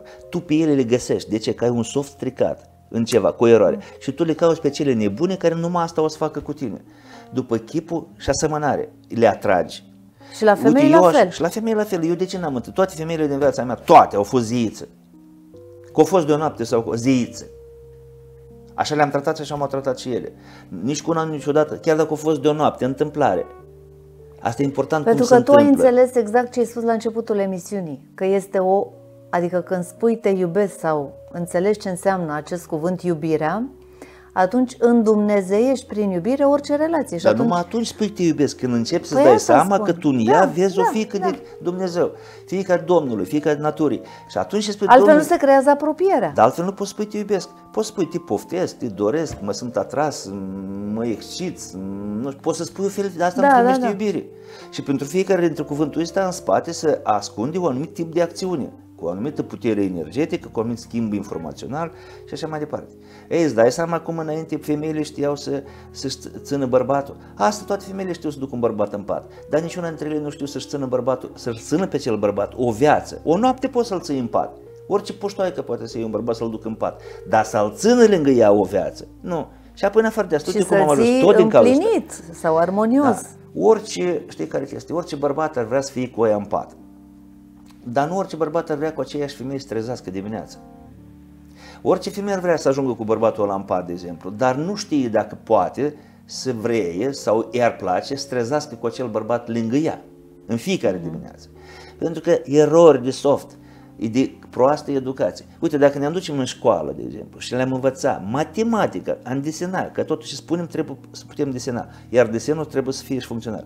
Și le-am arătat la adolescente ce câștigă când se dezverginează și ce pierd, automat ar, ar ști câștigul este extrem de mic în comparație cu pierderea. Și după care dacă le-ai trimite și le-ai plătit să dezvergineze, nu ar face. Pentru că știu ce au de pierdut pe tot restul vieții, nu numai pentru perioada aia, pentru tot restul vieții. Acum gândește, știi cât mai costă o dezvirginare pe piața neagră? Cum Știi adică că asta costă? se vinde. Adică sunt Ah, domnișoare care își vând Ca să dezvirginități. găsești o virgină. Ca să Ah, găsești o da, virgină nu pe știu. care tu să o dezvirginezi. Crezi, ca femeie, de exemplu, că este vreo plăcere majoră așa în, pentru bărbat să a dezvirgina o fată? Nu. Crede-mă, nu. Păi și atunci de ce se caută? Pentru că există bărbați care înțeleg mecanismele, de exemplu de origine a, arabă. Și el atunci înțelege ce? Dacă eu, arab, dezvirginez 10 europene, eu nu-mi fac nimic altceva decât înmulțesc duhul meu de arab în ce? În Europa, o cuceresc prin duh. Tu când îți naște un copil deja după un an, după ce tu ai dezvirginat arabul, tu după un, îți faci un copil cu un român, dar în duh ăla o să fie arab. Când o să crească mai mare, naționalitatea o să fie scris român, că s-a născut din mamă și tată român, că de exemplu, dar în duc el va fi arab. Și odată când va crește mai mare, nu știi tu de ce o să-i placă lui Coranul și tradiția de acolo și viziunea de acolo mai mult decât a ta creștin ortodoxă și o să începi a intra cu el în conflicte. Aia înțeleg. El ce știe? El știe că își răspândește nevăzut Duhul, de aia și plătește. Uite, 10.000 de Spiritul, euro. da, da, da. Deci îmi le- nu carnea, că asta e murit Duhul. Și din momentul respectiv copilul ăla și el va crește și va da naștere altor copii, dar el din tată, cu Duhul arab, copiilor tot E așa cum va fi. să facem noi pentru fiicele noastre românce să înțeleagă ce au de câștigat și ce au de pierdut în a-și menține virginitatea, Nu, hai să cumpătarea, spun. bunul Uite, de exemplu, simț. Ai început uh, viața sexuală la 14 ani. De exemplu. Majoritatea Da. așa încep. Majoritatea Da. mamelor nici nu știu de chestia asta. Uh, Și în general nu știu ce fac fiicele lor la școală, de exemplu, în liceu sau ce. Lucruri care dacă le-ar ști, dar și la grădiniță inclusiv, ce fac pe acolo, încă, cred că nici nu le-ar trimite pe acolo. S-ar ocupa personal de creșterea lor în sângele și în duhul tradiției lor, neamului. Ai început viața sexuală. Bun, s-a întâmplat. Cu cine? Am avut odată o, cli- o cu fica unui prieten bun, care tot ne-am spus, Anatol, tu ești psiholog, mai bine vine vorbește cu tine, că eu ca tată mi și rușine mi are, cum ăsta, cu despre asta nu vorbește. ți- Și atunci ea, eu am vorbit cu ea de- nu o singură dată, cultivând în ea m, sau arătându-i mecanismele a ceea ce se întâmplă. Odată vine, deschide aproape cu piciorul ușa, uh, îndrăzneț așa că e alt cu noi, adică știi, m, Cum sunt tinerii, cum da, să întinde? Deschide mai ușa curajoși, și mai... Se așează rapid așa la mine. Anatol, trebuie să mă ajuți. Uulu, ce pățit? De seară am sex. Cum adică ai sex? Adică de seară mă dezvirginez. Cum, doamne, că ce asta e? Ca la animale, mont, așa, adică Da. cum te stabilit? Cine a stabilit asta? Și cu cine te dezvirginezi? Cu un băiat. Și băiatul la cine? Unul cu care m-am înțeles. Păi, fată, tu ești nebun, adică cum te-ai înțeles cu un bărbat, cu un băiat, vreo trei ani mai mare ca tine sau de aceeași vârstă, ca să te dezvirgineze? Adică, adică, dar de ce asta? Pentru că la noi în clasă toate deja nu mai sunt virgine, numai eu și încă două suntem virgine, suntem tratate ca înapoiate, țărance, proaste și nu știu ce. Celelalte, la 14 ani, celelalte în clasă nu mai sunt virgine și unele dintre ele chiar se intră, știi, bisericuță, unele dintre adolescentele alea una e lideră, femela alfa se consideră acolo în grupul ăsta, intră în competiție cu celelalte cu care dintre bărbații, oraș, bărbații mari a orașului au mai făcut ele dragoste. Eu am făcut și cu primarul, dar e tu proastă, eu și cu ăla, să laudă în, nu, și să intră în competiție deja la 14 ani în ce? În uh, competiții care au avut mai mulți bărbați sau, dacă nu mai mulți, care sunt mai Șmecher, italați, da, șmecher, da. cam așa. Ce. Tu îți dai seama ce se întâmplă în uterul acelei fete? Uite ce se întâmplă acolo. Informație peste informație. Fiecare bărbat își lasă acolo ca și cum am spus, uite, spermatozoidul este ca și cum ar fi sticul. Și în situația memory în care stick. fac cu Iar informația prezervativ de pe uh, stick, actul sexual. Adică tot, energia spermatozoidul se oprește duce prin... numai, da. numai, adică Vreau oprește, să precizez pentru că poate mulți nu înțeleg. nu, că dacă vorbim de prezervativ, prezervativul oprește numai memory stick, cu partea materială, dar Da. toată informația scrisă pe Spirituală el, trece, orice da. informație scrisă pe, pe, cum se numește, pe memory stick-ul ăla, Da, da. transcede, se duce mai departe, nu numai acolo, se duce și la tot ce e în jurul nostru. Adică și florile pot să înflorească altfel din faptul că în spațiu ăsta un bărbat cu Pentru că femeie este face. energie, nu este, adică e nevăzut, dar rămâne. Exact, și energia Da. respectivă poate să facă ca să usuce toate plantele din jur și să dăuneze sau din potrivă să înflorească și plantele Astea care sunt altfel. conceptele cele mai greu de înțeles, de aceea am și vrut să precizez, pentru că mulți spun, păi da, dar s-a folosit prezervativ sau uh, a ejaculat în afară sau nu știu ce, dar faptul că sunt împreună și că au dus la capăt un act sexual cu finalitate, da. energia a fost între ei, E consumată. ca și cum ai spune că am folosit prezervativ și am oprit lava aici. Dar căldura de la lava, de oprit-o Da, undeva. da. Nu, ea se duce mai departe în tot universul. Ea nu poți opri căldura, ce știu eu, mirosul. Da, putem să punem așa ceva în față ca lava să nu se ducă mai departe. Aici se oprește cumva. Da? Dar ea se oprește aici, dar își caută Da, ieșiri oprești în altă fluidele, parte. dar energetica, informatica nu. E ca și cum am, știi, Da. uh, uite, am, uh, am făcut focul și l-am oprit ca să nu se răspândească peste tot. Ok, arde numai Da, aici. da, Bun, da. l-am localizat, dar căldura, da, fumul, da, tot, îl poți localiza. Îl poți opri așa undeva, să nu-ți ducă mai departe. Nu Mhm. se poate asta niciodată. Pentru că totdeauna există lucruri materiale, uite, într-un foc, este lucruri materiale, lemnul, nu știu ce acolo ce se întâmplă. Și lucrurile imateriale, adică gazele, căldura, toate, că nu le putem capta, nu le putem prinde. Ce a făcut fata după ce i-ai spus? După ce am spus, o trebuie să stau frumos să explic ce se întâmplă când uh, produci dezvirginarea, ce se întâmplă dacă începi viața sexuală, dar nu ai cu cine o continua, dar dorința deja există, pofta, pohta, cum spune Da, tot, da, da. și ești gata să te arunci în pat cu orice debiloc nepriceput, care după ce face dragoste mai și vine să vomite, pentru că încă n-au, nu-i copt sistemul Da, psihic da, încă. da. Adică ei fac dragoste și acum vomită. Te poate marca psihologic pe tot restul vieții, încă toată viața o să fie o frigidă. Nu să ai niciodată niciun fel de plăcere. Dar asta poate să te ducă în... în dar de aici relația cu bărbații. Că știu la bărbați nu ca la un izvor a plăcerilor și a ceva care te înalță către ceruri, ci că la ceva așa care nu știi ce faci. Și tu ca bărbat care ai început viața sexuală încă nu erai pregătit, adică știi, faci sex după care îți vine să vomiți sau îi vezi pe alții doi care fac dragoste și iar îți vine să vomiți, pentru că nu e pregătită sfera sufletească. Că aici se întâmplă problema. E ca și când ai vedea un corp sfârticat și îți vine să Da, este ceva prea mult. prea mult pentru Da, da. componenta lui sufletească, încă sufletul lui nu rezistă la astfel de presiuni sau la astfel de energie, încă nu-i copt. Da, da. E ca o baraj care nu poate încă ține presiunea și să sparge și ies afară. Ei, bărbatul ăla poate să rămână speriat, subtil acolo adâncul lui tot restul vieții. Și ne trezim că de ce, de, de ce uh, impotența întinerește. De la me- Organizația Mondială a Sănătății iar bată clopotul în gura mare țipă, domn, trebuie să facem ceva pentru că, că impotența printre bărbați începe să întinerească foarte mult, adică deja ajungem la 30 Se și în întinde, jos. adică foarte mult. Întinerește, Da. adică devine din ce în ce mai tânără. 25 de ani, 30 deja e impotent. Și nu interesează că impotența are la bază o componentă psihologică sau una fizică. Astea sunt fizice sunt foarte puține. Adică dintr-o sută, poate doi au o problemă de circulație, o problemă de sănătate fizică care îi perm- nu-i permite lui să fie potent sau să intre în erecție sau ceva. Poate o dereglare hormonală, poate ce știu eu acolo. Celelalte, 90% sunt de origine psihică, de origine informațională.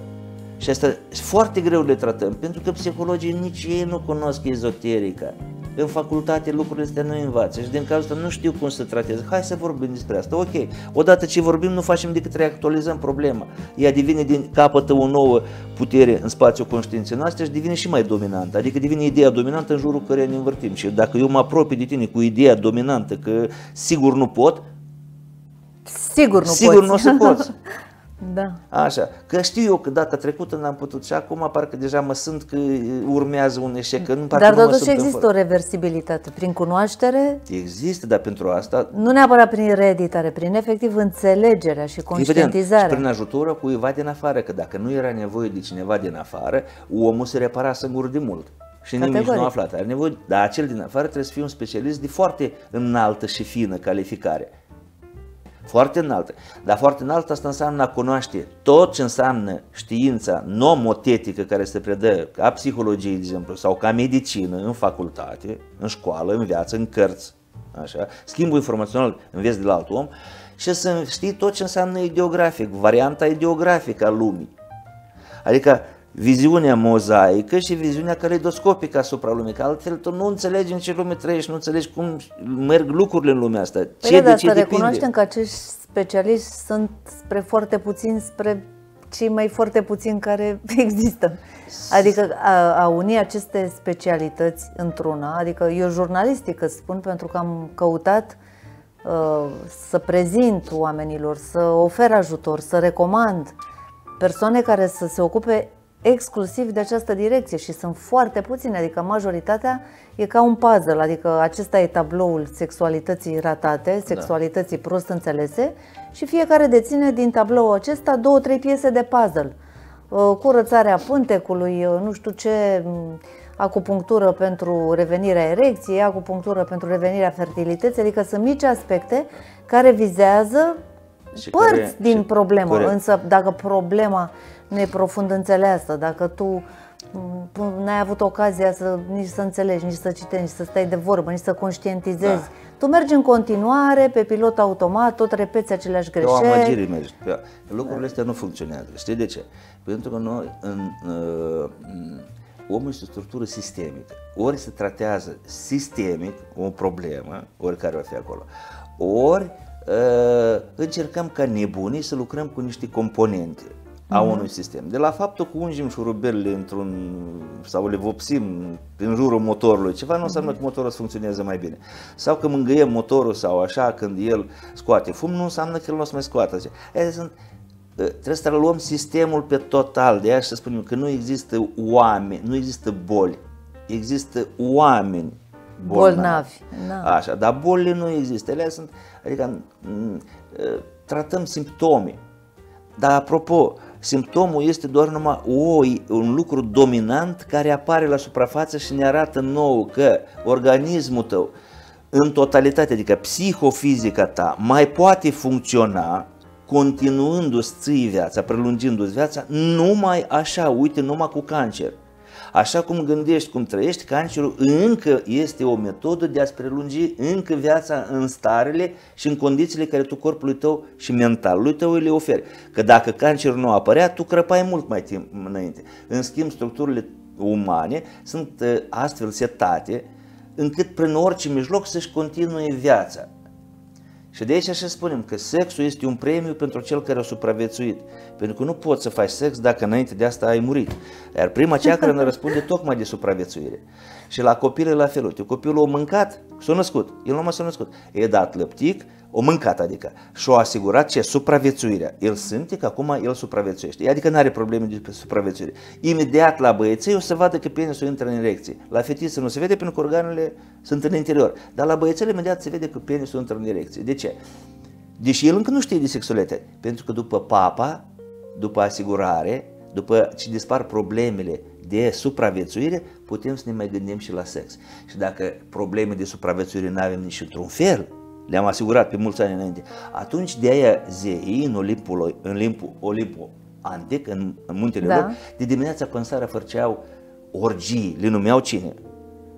Cei de jos. Da. Dar ce e orgie? Orgie este ceva ce tu încă n-ai făcut.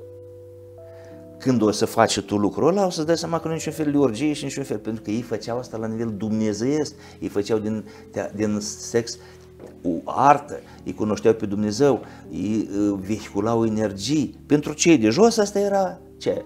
Orgii. Adică era ceva, Doamne, Maica Domnului, nu știu cum să spun.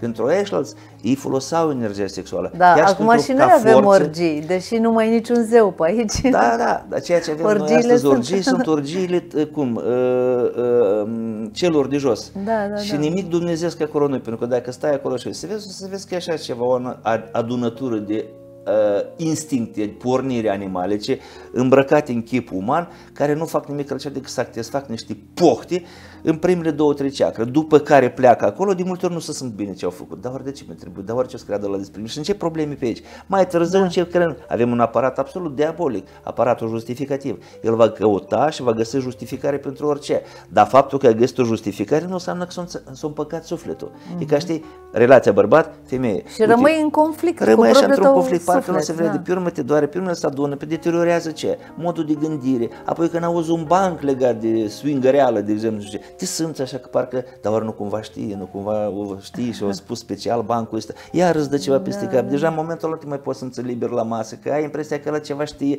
Uite așa, una peste alta, îți duce viața la... De la... swingăreala nu e orgia zeilor. Nu, nu ceea scurt. ce se întâmplă astăzi nu. E așa o chestie, da, vrem să că e evident, dar am vrut să da. ne amuzăm puțin pentru că lucrurile sunt atât de grave încât uh, e greu să ne amuzăm. Într-adevăr, e, e o epocă în care oamenii au din ce în ce mai puține șanse la fericire, la familii sănătoase și uh, trai decent, tocmai pentru că lipsesc elementele de bază, uite, știi fundamentul... Cum, știi cum natura reglează lucrurile astea foarte bine? Adică, uite, natura are și ea programele ei. Dumnezeu Tată și mama natură, adică uite așa, X și Y, nu? Da. Îi fac sex permanent. Niciodată natura și Dumnezeu Creator nu se opresc din aia. Sex în permanență, permanent. Totdeauna apar forme noi, insecte noi, plante noi, tot timpul Sex în semnul de creație. Evident, sexul în sine este o creație. Dacă îl facem, Dumnezeu este. Dacă nu, este așa o fel de pornire animalică cu scop strict de reproducere. Dar noi fiind animale superioare, sociale, am învățat să oprim ce? Uh, sau să împiedicăm reproducerea. Și facem sex numai de dragul a unor uh, satisfacții și de multe ori nici nu știm a ce. Uite, am făcut sex și am s-a terminat. După asta ce? Adică ce, ce s-a întâmplat acum? Ce am câștigat? Ce am pierdut?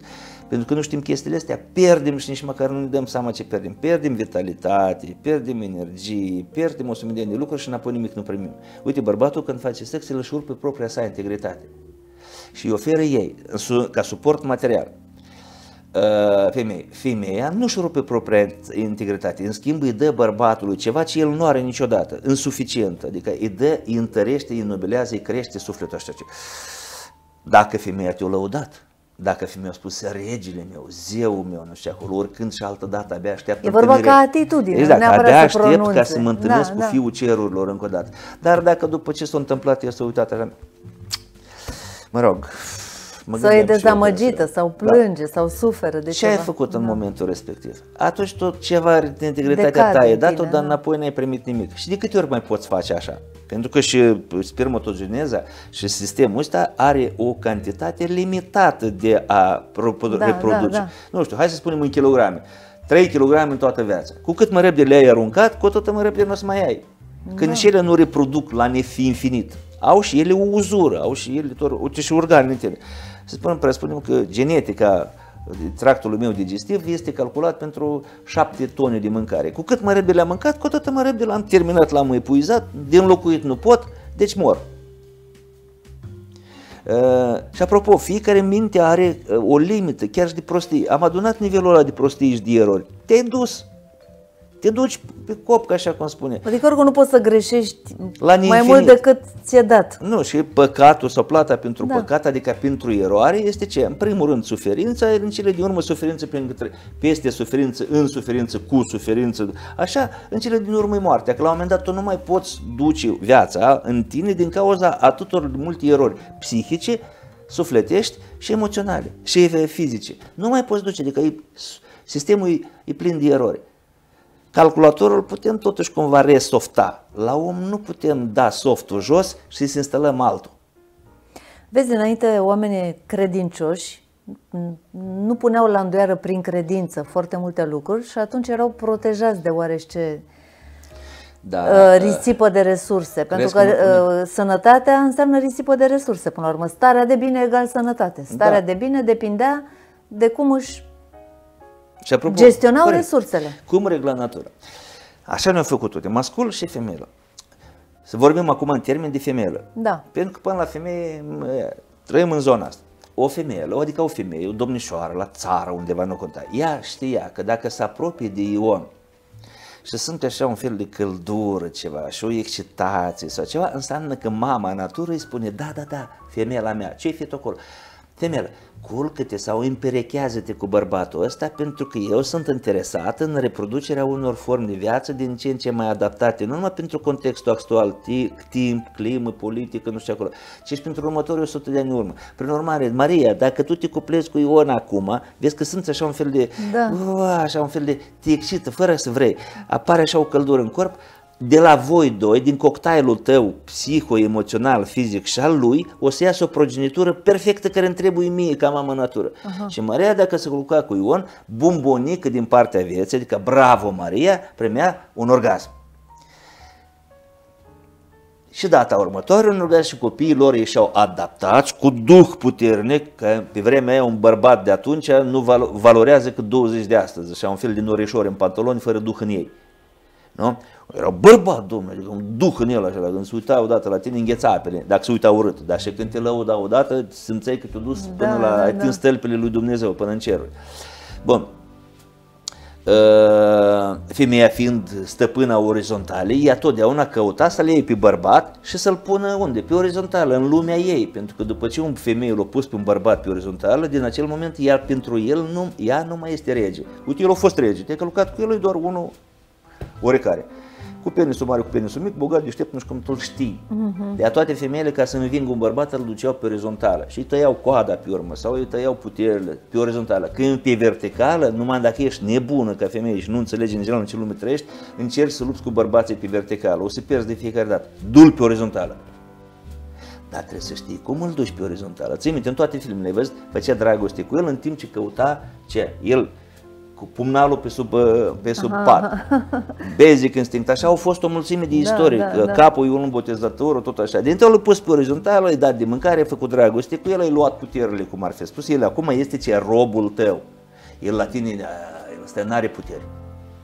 El e pe orizontal, adică el e total prizonierul tău al, al orizontalei. Uh-huh. Iar femeia este stăpâna orizontalei. Asta se știa dintotdeauna și știa toate secretele orizontale și tot ce știe o femeie despre orizontală. Iar bărbatul este fiul orizont, ă, verticale și el știa tot ce ține de verticală. De aia bărbatul era cel care stăpânea legea în casă. Femeia mai încurca, mai și venea, bă, așa, în casa noastră, în neamul nostru, așa ceva nu se face. E rușine, aia trebuie să fie așa, aia nu se face. Copiii să cresc așa, masa trebuie să fie masă. Bărbatul stăpânea stâlpul legii. Iar femeia avea grijă de tot ce înseamnă material. Casă, cum să fie casa, bărbatul le făcea. Vrei piscină, ți-am făcut-o, dar mai departe tu vezi cum să fie piscina aia, cum să-ți placă, îți dai viața, adică dai viața, înnobilează cu suflet, adică fă-o să fie însuflețită, că bărbatul poate să-ți facă oricând o schemă, o casă.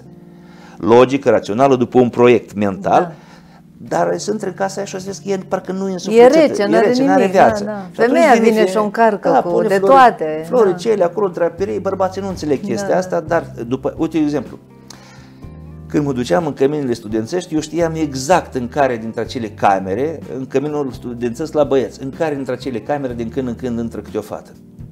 Și Era mai curat, mai Ceva acolo se vedea prezența da, unei da, femei, da. că au pus o draperie, nu știu cum, o aranjat acolo, un buchet, un flor cumva. Ori. E că se vedea că acolo a venit cineva și în spațiul ăla l-a însuflețit cumva. Că dacă era după ei, bărbații pot trăi pereții goli, goi, fără nimic așa, pune muziară în trai, important să ai bune dormi, wc o să fie cât mai aproape și frigiderul în partea asta altul cu bere și mai mult atât trebuie lor, nu știu ce, estetic, frumos, elegant, nu știu ce. Adică ei trăiesc ca și cum ai trăi într-o casă gen proiect, făcut, da, proiect la rece, da, da, pac, pac, pac, da.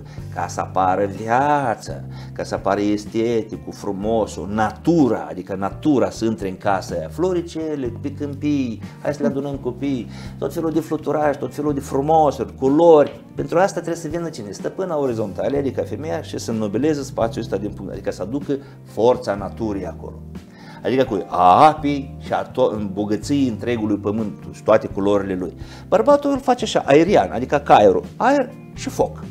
Gata, e, trăiește în spațiul ăsta. De așa cu aerul, cu strategii și arme de foc, tot timpul îi place. Dar la femei le place ce? Rodurile pământului, adică flori, uite, dai o floare, din floare se hrănește. Dai o floare la un bărbat, el o e ca obiect, dar el nu se hrănește din floarea asta nici într-un fel. În schimb, se hrănește dintr-o idee.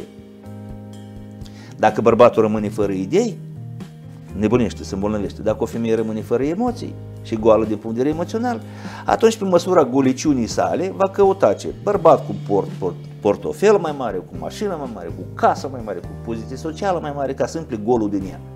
Și apropo, din punctul ăsta de vedere, tocmai că nu cunosc nimic despre ceea ce înseamnă, sau foarte puțin și nesuficient, despre ceea ce înseamnă feminitate, sexualitate, majoritatea femeilor sunt goale și caută ca nebunele aproape să împle golul ăla din interior cu tot felul de prostii, care niciodată, cât le-ai băga acolo, nu se împle. Vreau o mașină, ok, nu s-a umplut golul. Parcă e mai bine două, trei zile, dar pe urmă golul e mai mare. Apoi mai, încă o mașină, apoi o casă, apoi două case, apoi caută, caută, caută și golul ăla nu se umple niciodată, pentru că el nu se umple cu lucruri materiale, ce se umple cu lucruri emoționale. O femeie crește Știi, uite de aia bărbații înainte aveau grijă, ca ea să fie, mintea femeii să fie tot timpul ocupată. Adică ori o, nu știu cum spune, mânghiile mele, o bătea, ori o mângâia, ori o iubea, ori făceau ceva cu ea, dar nu o lăsau să aibă timp liber mult, pentru că intră prostii în cap, așa spuneau bătrânii. Și într-adevăr, nu are ce face ea, că gândească fel de fel de chestii, sfera asta nu-i pentru ea. Iar gândurile astea se duc fără nicio logică, gândesc tot felul de chestii, încep să stră, plângi, ai singur că ai început să gândești tu la nu știu ce filosofie, singur te-ai apucat să plângi. Dar de ce trebuie ție să gândești la lucrurile astea la care nu te pricepi? De ce să duci emoțiile astea aici? Apoi îți dă sistemul emoțional peste cap și evident că cineva trebuie să fie vinovat din jur. Ea niciodată nu-i de vină. Deci nu știu nimic, te calicesc personal. Unii le zic, uite, cum? Misoginul ăsta ce spune. Da, aici am un fel de misoginism. E pur și simplu cunoașterea naturii masculine și naturii feminine sau necunoaștere. Și dacă nu o cunoaștem, atunci nici femeile nu trăiesc în conformitate cu natura lor și nici bărbații nu trăiesc în conformitate. Și atunci un fel de pseudo-femeie, considerând că dacă are două uh, ochi perechi de sân și nu știu ce, gata, e femeie, și el e pseudo-bărbat. Dar uitați-vă în jur acum, vedeți, gândiți-vă, uite, dacă intru pe TikTok sau oriunde, eu o să văd acolo o mulțime de domnișoare tinerele care sunt, nu știu cum așa, un fel de uh, shake buciste, adică tot nu fac, toate filmulețele sunt cu mișcări din funduleț. Nu din creier, nu din suflet, nu din, nu știu, din funduleț, aia, mișcă din funduleț, sunt toate felurile. De ce? Ne uităm astăzi în lume, din cauza educației sexuale proaste și necunoașterea ezoterice a vieții, femeile se vând, adică nu mai au nimic de vândut decât sexul. Ai sex, te angajăm, ai sex, te luăm la serviciu, ai sex, ai posibilitate și ai sex de dată, adică pe piață de oferit. Uh, trăiești. Nu ai sex, sexul, nu, sexul vinde, nu ai sex, poți să fii tu foarte mare specialist în, nu știu ce, birotică sau secretară, nu știu, nu te angajăm, pentru că ne uităm la tine, ne strângi dispoziția dimineața. Și atunci angajăm mai bine una infantil, nu spre ce e ea prea multe, dar cumva are sex, adică ceva ce răspândește o anumită formă de, de plăcere. Sex însemnând nu doar penetrarea asta, e metoda, viziunea primitivă animalică asupra sexului. Sex înseamnă dobândirea oricărui tip de plăcere. Aici este sex, aici este sex, uite, îmi place să stau cu tine de vorbă. În preajma ta eu mă sunt foarte bine sufletește, nu mă sunt presat, nu mă sunt judecat, analizat, observat. Și îmi place și caut prezența ta ca să stau alături de tine. Vorbim pur și simplu, asta e tot sex. Când vorbesc cu tine, simt că mă înțelegi, simt că, uh, cu, corect spus așa, cumva îmi masturbez creierul, chiar și la toate tezele mele, tu vii cu o antiteză. Absolut prostești, dar mă pui pe gânduri, bă, da, dacă nu e așa. Adică, știi, asta iar îți face plăcere. Asta e tot sex. Un bărbat cu o femeie poate să meargă de mână prin oraș și nimeni nu să vadă, dar ei dobândesc o plăcere, de exemplu. Uite, o, o ții de mână și știi cum bărbații cu femeie, o ții de mână, la un moment dat așa milimetrică, e mai strâns-o cumva altfel de mână și ei au făcut cu degețelul, nu știu, gata, acolo începe un, un joc al mișcărilor, al, al sufletului, a eterului, la asta e, la sex. Și tu poți nici nu știi că bărbatul care te ține de mână face sex cu tine. Doamne, deci pentru asta trebuie să mai vii odată, să facem încă un episod. Pentru Dar asta că asta sex. a fost... Uh, sexul e da, trinitar. Da, categoric. Cum omul este trinitar și sexul este trinitar. Sex fizic, instinctiv, cu scop de reproducere, sex emoțional cu scop de înnobilare și a sufletului și sexul mental, adică nu înseamnă că ne vorbim la telefon și facem asta, e prostie, adică asta e un fel de surogat, pierzi energiile cu totul degeaba. Uite, de exemplu, un fel de masturbare, nu? La telefon. Tu de masturbat ai masturbat, dar înapoi n-ai primit nimic. Dispulsiune ai scăpat, dar înapoi păi n-ai primit nimic. Păi de asta am spus că merită un episod întreg, pentru că majoritatea relațiilor actuale se bazează pe acest tip de, de sex, da, sau pe altceva. mental, virtual, nu știu cum să spun, în care nimeni nu câștigă nimic, dar trebuie probabil să explicăm la fel de corect cum a explicat, istoric vorbind, cum se așează informațiile din punct de vedere al Duhului, al Spiritului în noi, pentru a înțelege că de fapt n-ai cum într-adevăr să avansezi la acest Corect. subiect în care uh, uh, să se înțeleagă că o femeie și un bărbat pot sta la distanță fizică sau la o distanță și de orașe și că pot totuși avea o relație sexuală, adică se, se numește sexuală, de ce? Pentru că produce o plăcere unei părți din tine, Corect. la fel de importantă ca și tot ce înseamnă Corect. prima și a doua adică, ceacră. Da, pentru asta trebuie să pornim din start, Din de la start. concepția că sexul reprezintă dobândirea în timpul unor interacțiuni a oricărui tip de satisfacție De sau plăcere, de plăcere. plinire, da. Că este și orgasm mental, uite, stăm cu Exact. cineva și așa de mult îmi place încât putem spune, știi, tu am stat cu Luana de vorba seară și am avut așa un orgasm intelectual sau mental. Sau, uite, un orgasm gustativ. Nu, nu tot așa Exact, spunem. exact. Sau un orgasm sufletesc. E o plăcere să stai cu așa, sunt și acum crește sufletul. Tot e un orgasm sufletesc. Și ăsta e ultimul și cel mai de jos, cel mai de Primitiv. banal, primitiv Da, da, animalic, da, uh, de care foarte multe femei ar scăpa cu totul. Le-ar place să fie preludiu de vreo două ore, Da, sexul da, de vreo 5 minute acolo nu prea, așa, și postludiu, ăla adevărat, încă vreo 2 ani dacă e posibil. Dar sexul cu penetrare, foarte multe femei, dacă ar putea, l-ar, uh, l-ar evita. Bărbații nu, pentru că ei vor de acolo prima dată să pornească așa e natura lor instinctuală. Așa, iar femeile cumva, știi, uh, Bine, acum nici La la fel. femei nu cred că e chiar așa că și-ar dori două-trei minute. nu acum, pentru Întrucât, că... uh, uh, poate din pricina faptului că nu au avut relații corecte, coerente, uh, Pentru că nu știu pur și simplu altceva. asumate. Dacă sar, sigur, de la un bărbat la altul și încă nu ți-ai format o, o, o impresie corectă despre sexualitate, normal că nu ți-o mai dorești, pentru că n-ai amintiri plăcute neapărat. Eu acum gândește în felul următor. Deci femeile înainte instinctiv alegeau bărbatul. Adică sfera instinctivă din noi, animalică, care nu are rațiune asta, că nu și găsește justificări la cea. Da, da. Ea simțea animale că este atrasă de Ion. Se cupla tot ca animalele cu, cu Ion, reproducea un copil perfect adaptat pentru condițiile de actuale și pentru încă 100 de ani înainte. Că părinții pot să moară mâine, dar copilul trebuie să trăiască încă 100 de ani înainte și el trebuie să fie adaptat la tot ce urmează, dar natura știe ce urmează. Cum să va încălzi glo- globul, când va veni timpul să va răci, nouă eră glaciat- glaciară sau ce. Natura știe tot Da, ce se da, poate da. întâmpla de aici încolo și pregătește corpurile astea, oamenii, ca să fie pregătiți pentru tot ce urmează să întâmple. În general, natura, din punctul ăsta de vedere, experimentează pe femei. Adică, dacă trebuie să ne apară coarne, prima dată o să apară coarne la o femeie și apoi la mai multe și încet, încet o să apară și la bărbați. Dacă trebuie să dispară coarnele, prima dată coarnele o să dispară la femei, apoi e, toate femeile o să rămână fără coarne, o să cadă și la bărbați și o să mai treacă încă o mie de ani în care o să mai găsim totuși din când în când câte un bărbat care încă nu i-a căzut coa- coarnele, încă au rămas rudimentele alea sau așa. Dar natura experimentează totdeauna orice noutate sau orice nu- inovație fiziologică, fizică de adaptare la mediul ăsta în lumea asta, totdeauna pe femei. Și atunci, astăzi cum selectează femeile un bărbat? Ea să sunt excitat, atras animalic, așa, instinctiv de Ion. Trebuie de are facultate, n-are el, n-are diplomă, nu e taxomăsa cine e acolo, n-au nici masă, nici casă, nici piscină, nici iPhone, dă-l dracu de Ion. Nu mă interesează. Mie trebuie, mie să-mi dai unul deputat și senator de felul ăsta. Și el încep să aleagă bărbații după ce? După concepții mentale. Fără să-și pună întrebarea, dar eu pot trăi cu Ion colonelul? Dar eu pot trăi cu Ion președinte, de... dar eu știu ce înseamnă Ion, e, e, ce știu eu acolo, de exemplu, ministru. Că Ion e Ion, dar ministru înseamnă un rol și rolul ăla își trebuie să-l joace și trebuie să-l joace, asta presupune anumite avantaje, anumite dezavantaje. Ești tu capabil să trăiești cu Ion, ministru? Că cu Ion Ciobanu poate este adaptată și îți place, dar cu Ion ministru presupune comportamente, presupune ceva să știi, să taci, ceva să vorbești, ceva să nu vorbești niciodată, adică ești soția totuși a unui ministru sau unui mafiot. Da, el îți place că e foarte bogat, dar tu poți trăi cu un mafiot. Păi nu, că eu... Și să începe ce? Astfel, în mintea fiecărei femei, mai devreme sau mai târziu, se declanșează un astfel de program, se numește Trebuie să-mi refac bărbatul. Punct exe. Să-l schimb. Să schimb. Ceva trebuie să schimbă la el, ceva nu. El nu e așa. El trebuie să-l schimb. Eu trebuie să-l fac pe el altceva.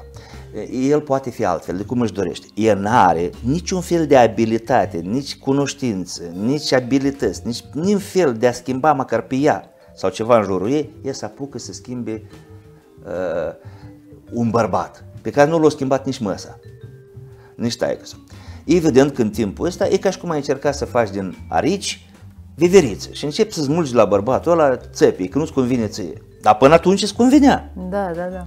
Când te-ai căsătorit, te-ai căsătorit cu ariciu. Și cu era rolul. Cu, cu rolul și cu ariciu, așa cum era el. Deci, trebuie să refac bărbatul sau trebuie să-mi transform bărbatul, punct exact, ceva nu e bine. Și atunci, în momentul respectiv, începe ce? Ăsta nu vrea să transforme.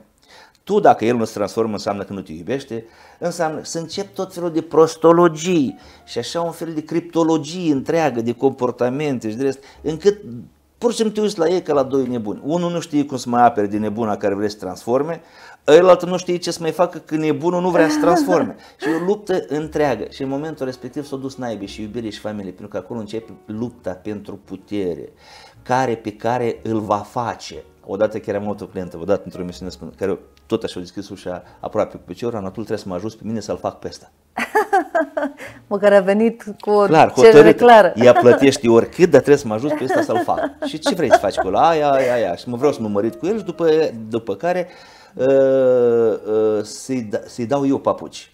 Adică e gata să intre într-o căsătorie, total, da, da. să duc, fac căsătoria și la o lună îi dă ea papuci satisfacția ei. De ce? Pentru că înainte de asta e, el băiatul, ea așa considera, el i-a dat ei papuci. Adică s-au întâlnit, nu s-au înțeles după un timp care băiatul a spus sincer, franc, fata mea, uite, care, mai bine fiecare cu drumul lui, că nu ne pupăm ceva, softurile noastre nu se potrivesc. E, n-a putut să accepte. Și ea, uite, ca să, adică cum să-mi dai mie papuc? Gata este să răzbune și pentru asta e gata să intre într-o căsătorie, să-și murdărească pașaportul, nu știu cum să spun, ștampilă, să dar că după asta să-i dă, să-i dă divorț și să-i arate ea lui cine aici e mai șmecher. De ce trebuie să pierzi ani din viață ca să faci prostia asta care nu are niciun scop, niciun rol, niciun, niciun temei, nu duce nicăieri? Ei, asta femeile deci fac alegerile din punct de vedere mental. Și mentalul unei femei totdeauna va fi mai slab decât mentalul unui, unui bărbat. Asta ne arată realitatea, pur și simplu. Adică o femeie în zădar să luptă cu mintea sau cu logica unui bărbat, oricât de deșteaptă o să fie. Totdeauna o să găsească un bărbat care o să te înfrângă la nivel de mentalitate. E ca și cum știi, ne urcăm pe verticală. Când ne urcăm pe verticală, ai văzut la circ, bărbatul este cel care o ține pe femei chiar inclusiv și în dinți sau în mâini și ea face da, acolo tot felul da, de da. rotații. Da. În orice moment bărbatul ăla poate să-i dea drumul de acolo. În orice moment. Dacă vrea dacă vrea să o învingă, dacă vrea să o susțină, dacă vrea să-i arate cum e sus acolo, uite și Luceafru încerca să o iei pe Cătălina. Cătălina, hai cu mine sus acolo să vezi nemurirea. Nu, nu, tu trebuie să vii la mine, trebuie să transformăm pe tine. Că ceva nu e regulă cu tine. Ești vii în chip de foc, prea fierbinte, prea arzător, vii în chip de apă, prea ud, prea rece și nu știu, vii în chip de pământ, paște. Adică ce să mai vin, cum să mai vin la tine, că mai e nemuritor. Trebuie să vii muritor, că nu mă împac cu ideea că tu ești un nemuritor și eu o muritoare și să trăim așa. Trebuie să te aduc pe tine la nivelul meu de străcăciune, cum ar fi, sau de materialism. Ăla s-a dus înapoi și rude la taie, că taie, că dăm nemurirea, că dăm murirea ca să mă pot căsători cu Cătălina. Tai că sunt înțelept și bătrân, tu ești nebun, cum să-ți dau ție chestia asta? Așa, pentru muritoare, du-te și vezi ce face acolo. Și ea și când o venit înapoi, o vede pe Cătălina cu ce? Că și-o găsi bărbatul după nivelul ei de brutalitate. Punct. Orice femeie întotdeauna își găsește mm, și au discriminează din mulțimea de bărbați din jur, pe care nici nu vede ca bărbați, îi discriminează numai pe cei care coincid într-o măsură mai mare sau relativ egală cu nivelul propriu de brutalitate. Toți ceilalți nici măcar nu sunt bărbați. De o femeie care îi place brutal, adică este mai brutală, ea va căuta un brutal și îl va găsi și el o își va bate și oricâți bani vom duce în ministerul ăsta, adică uh, violența domestică. Domestic, violența domestică. Orice am face ca să o eliminăm și oricâți bani am duce, nu o să o eliminăm pentru că asta nu este o problemă de politică sau de problemă financiară. Asta este o problemă ezoterică, de înțelegere profundă a rolurilor, a, a sensurilor și a rolurilor nu numai sociale, ci și a rolurilor spirituale, spunem așa. Sunt femei care dacă, uite, noi am făcut toată un experiment. primul bărbatul bătut al doilea bărbatul bătut al treilea bărbatul bătut Și Hristos, dacă s-ar fi măritat cu o femeie respectivă, însurat și el ar fi bătut-o. De ce? Pentru că ea așa construiește relațiile și așa le duce într-o direcție încât, practic, cum să spun, uh, nu poți scăpa de presiune decât dacă da, nu bați. Da, nu da, da. Și noi spunem, uite ce bărbat violent a bătut o femeie. Da? Asta este numai componenta ce s-a văzut. Dacă bărbatul o izbește cu un bobărnac, e mâine îți duce la medicul legal și scoate vânătaia și tu ești brutal și ești animal și cum poți să bați o femeie? Din moment ce bărbatul o dat într-o femeie, din acel moment acel bărbat nu mai este bărbat. Bun, dar atunci să înțelegem și partea opusă a medalei. Din moment ce o femeie a ajuns să fie bătută de un bărbat, acel femeie de mult nu mai este femeie. Și de ce? Uite, ea vine și face din sufletul acelui bărbat, uite, cu bisturiu pe suflet, în toate părțile, că ești așa, că ești prostorat, ai varză acolo, sângerează tot. Da, da. Asta nu, pentru că sunt partea nevăzută, spirituală, da, nu da. pot să mă duc la medicul legal, la institutul medical, să scot rănile de pe suflet. Meu e, da. Dar la un moment dat nu mai poți, pur și simplu nu mai poți. Ela, ela vrea să, adică vrea să oprească pe cel băiețelul din ea care vorbește. Că băiețelul ăla deja și-a luat-o prea în de în cap. serios, da. Prea puști, puștulică de astea care se dă el bărbatul, bărbatul o stare și la bătaie. Și el trebuie să-l oprească și să apucă cu mâna de gâtul la puștiul ăla și dă și una după cap, bă, termină puștiul că îți dau una. Dar numai când face chestia asta, trezește cu mâna chiar în gâtul soției sale sau în gâtul unei femei. Proc vânătăile, gata, tu ești problemă. Dar ea nu-i problemă. Pentru că nu putem scoate rănile sufletești să le pune pe că dacă ar vedea judecătorul și ar fi văzător și ar vedea ce-au făcut aia din sufletul meu, cred că și judecătorul trimite-o la poșcărie. Fă, femeie, tu te gândește ce ai făcut din asta și te plângi că tu două după cap. Păi dar bărbatul ăsta e foarte rezistent, domnule. Altul te îngropa, te bătea în cuie ca pe Hristos pe perete la el în casă. O cineva spune, promovăm violența. Nu, asta e natura, asta e viața. Vrem să vorbim despre ele, bine, vrem să le prefacem că nu există, atunci ca să le îmbrăcăm în forme frumoase, stupide de multe ori și nereale și să trăim într-o, într-o imagine, într-o lume cu o imagine distorsionată. Dar realitatea nu e asta. E, realitatea e cum e, oricum uh, nu, nu am cuvinte să uh, îți mulțumesc pentru, pentru acest dar numit, hai să zic, lecția basic de educație sexuală care de foarte mult timp am dorit să o pun într-o formă video, să o dăruim împreună a tuturor oameni care duc vieți chinuite și nu știu de ce. Ar fi vrut să audă poate mai la timp aceste lucruri și n-au avut unde să le audă. Sunt sigură că poate e bine ca acest material să fie parcurs de mai multe ori pentru a fi înțeles corect și în profunzime.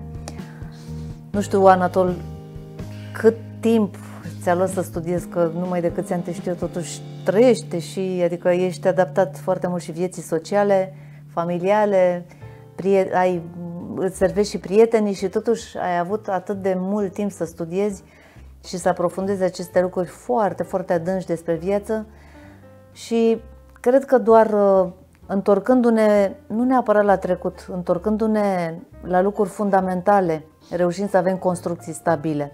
Toți dorim stabilitate și nu știm de unde să ne o luăm. Cred că singura stabilitate pe care o putem avea e cea interioară, care poate avea ca fundament niște, uh, niște lecții serioase despre fiecare capitol al vieții. Așa cum spuneai tu mai devreme, o singură lege, cum ar fi legea fluidelor, dacă n-ai înțeles-o, iată cum poate să fie influențată întreaga ta sexualitate. Dacă iei lucrurile în superficial, trăiești superficial, trăiești undeva la o margine, viața, viața aceea profundă și, și frumoasă și cu adevărat bogată e undeva, dar tu nu o atingi niciodată. Trăiești așa la mantinela vieții. Evident. Și... Uh, și dacă îmi spunem așa, uh, omul ar trebui să cunoască fundamental și extrem de precis și profund șapte teme. Una, două, trei, patru, cinci, șase, șapte. Șapte teme șapte capitole, care toate fac din parte din același, uh, din aceeași, din același manual, tablou. din da. același da. tablou, din aceeași știință, știința vieții, spunem așa. Adică viața te știe pe tine, dar și tu trebuie să știi cum e viața și cum trebuie să trăiești cu viața, cum să dansezi cu viața în modurile cele mai frumoase posibile, astfel încât și viața să vrei să dansezi cu tine din nou și din nou și din nou. Indiferent care e dansul, cu o dată dansul poți fi mai liniștit, mai vals, altădată e mai tango, altădată e mai așa. Tot felul de dansuri cu viața.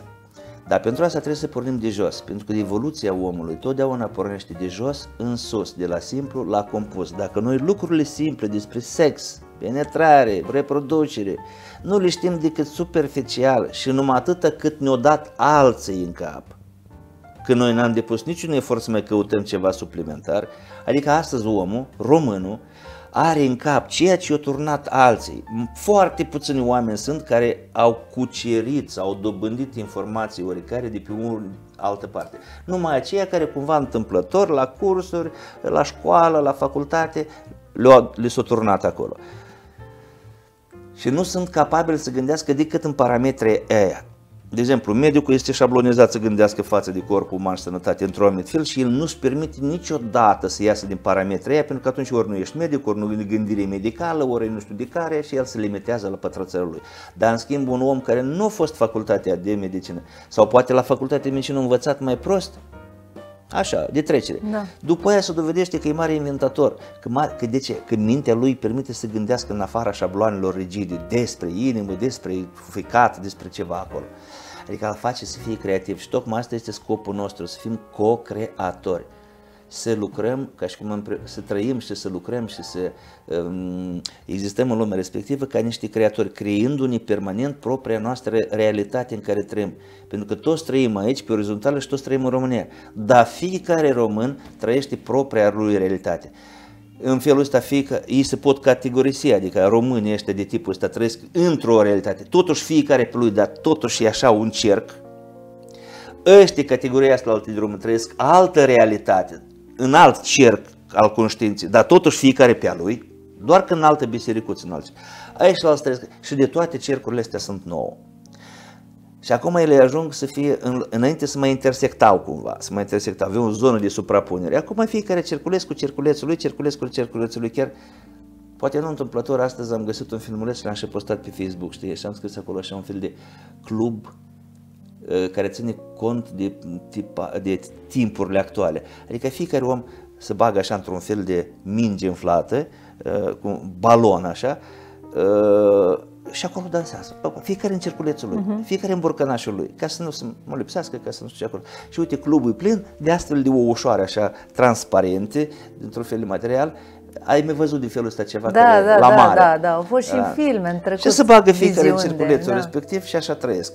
Asta o să ne obișnuim încât și acasă o să venim. Eu vin acasă, tu e soția mea. Eu vin acasă, m-am băgat în circulețul meu, în borcănașul meu, tu într tău, ca să nu ne influențăm, ca să nu știu ce.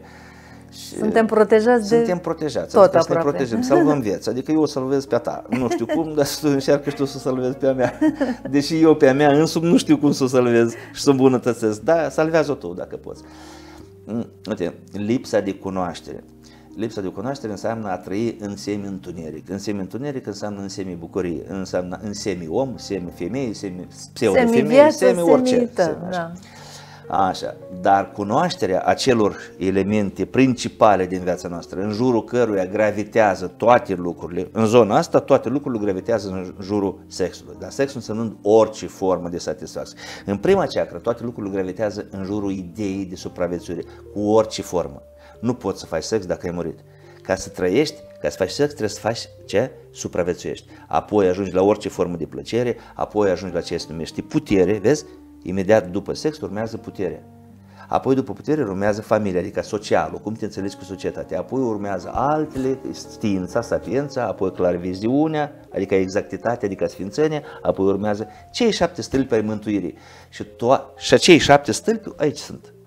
Și fiecare stâlp are regulile și setul său de legi și științe care trebuie cunoscute în tocmai precis și exact, adică sfânt, ca pentru a ști care dintre ele, în ce măsură le poți ocoli în dreapta, în stânga, pe sub ele poți trece, pe deasupra, fără ca să pățești ceva, vreo daună.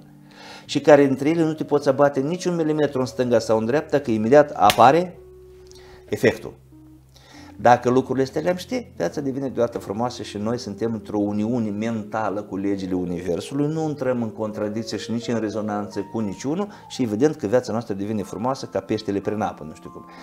Dacă nu știm, atunci la fiecare pas facem câte o nefăcută, câte o, și dăm de câte un necaz. De aia spune necaz, că nu-i cazul Dar în cazul tău e cazul, că tu ai încălcat chestia și numește necaz. Mulțumesc mult, Anatol. Uh, m-am îmbrăcat în roșu că a fost ca un fel de Crăciun, ca o sărbătoare, să primim o școală a vieții condensată într-un uh, singur episod și doresc să vă însușiți, să reluați acest material de câte ori e nevoie, să-l împărtășiți cu cei dragi, pentru ca să fie pentru cât mai mulți oameni o deschidere de manual, de lecții de viață, dacă astăzi n-am avut decât una, dacă vă mai uitați și pe celelalte materiale de pe canalul nostru YouTube și de pe cel al lui Anatol, o să vedeți că puteți să faceți încet, încet, chiar așa, gratuit, doar privind pe net, un uh, tablou foarte frumos despre cum puteți să vă ridicați, să vă înălțați, să trăiți în alt nivel și să nu fie nimic cu semi, să fie tot așa trăit de plin. Încă o dată mulțumesc Anatol, să uh, urmăriți și voi pagina lui pentru că de foarte multe ori uh, sunt reluate cursuri uh, legate de ce am vorbit aici. A fost uh, magia feminității în acesta, cred că de câteva ori Da. și multe altele. Și ce să zic, uh, drumul spre cunoaștere este sinuos, nu vă doresc decât să vă apucați de el și să vă țineți de el. Să ne vedem cu bine data viitoare. Eu am rămas impresionată, o să, o să mă readun, să mă regrupez și vă doresc și vouă o seară și o săptămână minunată până ne revedem.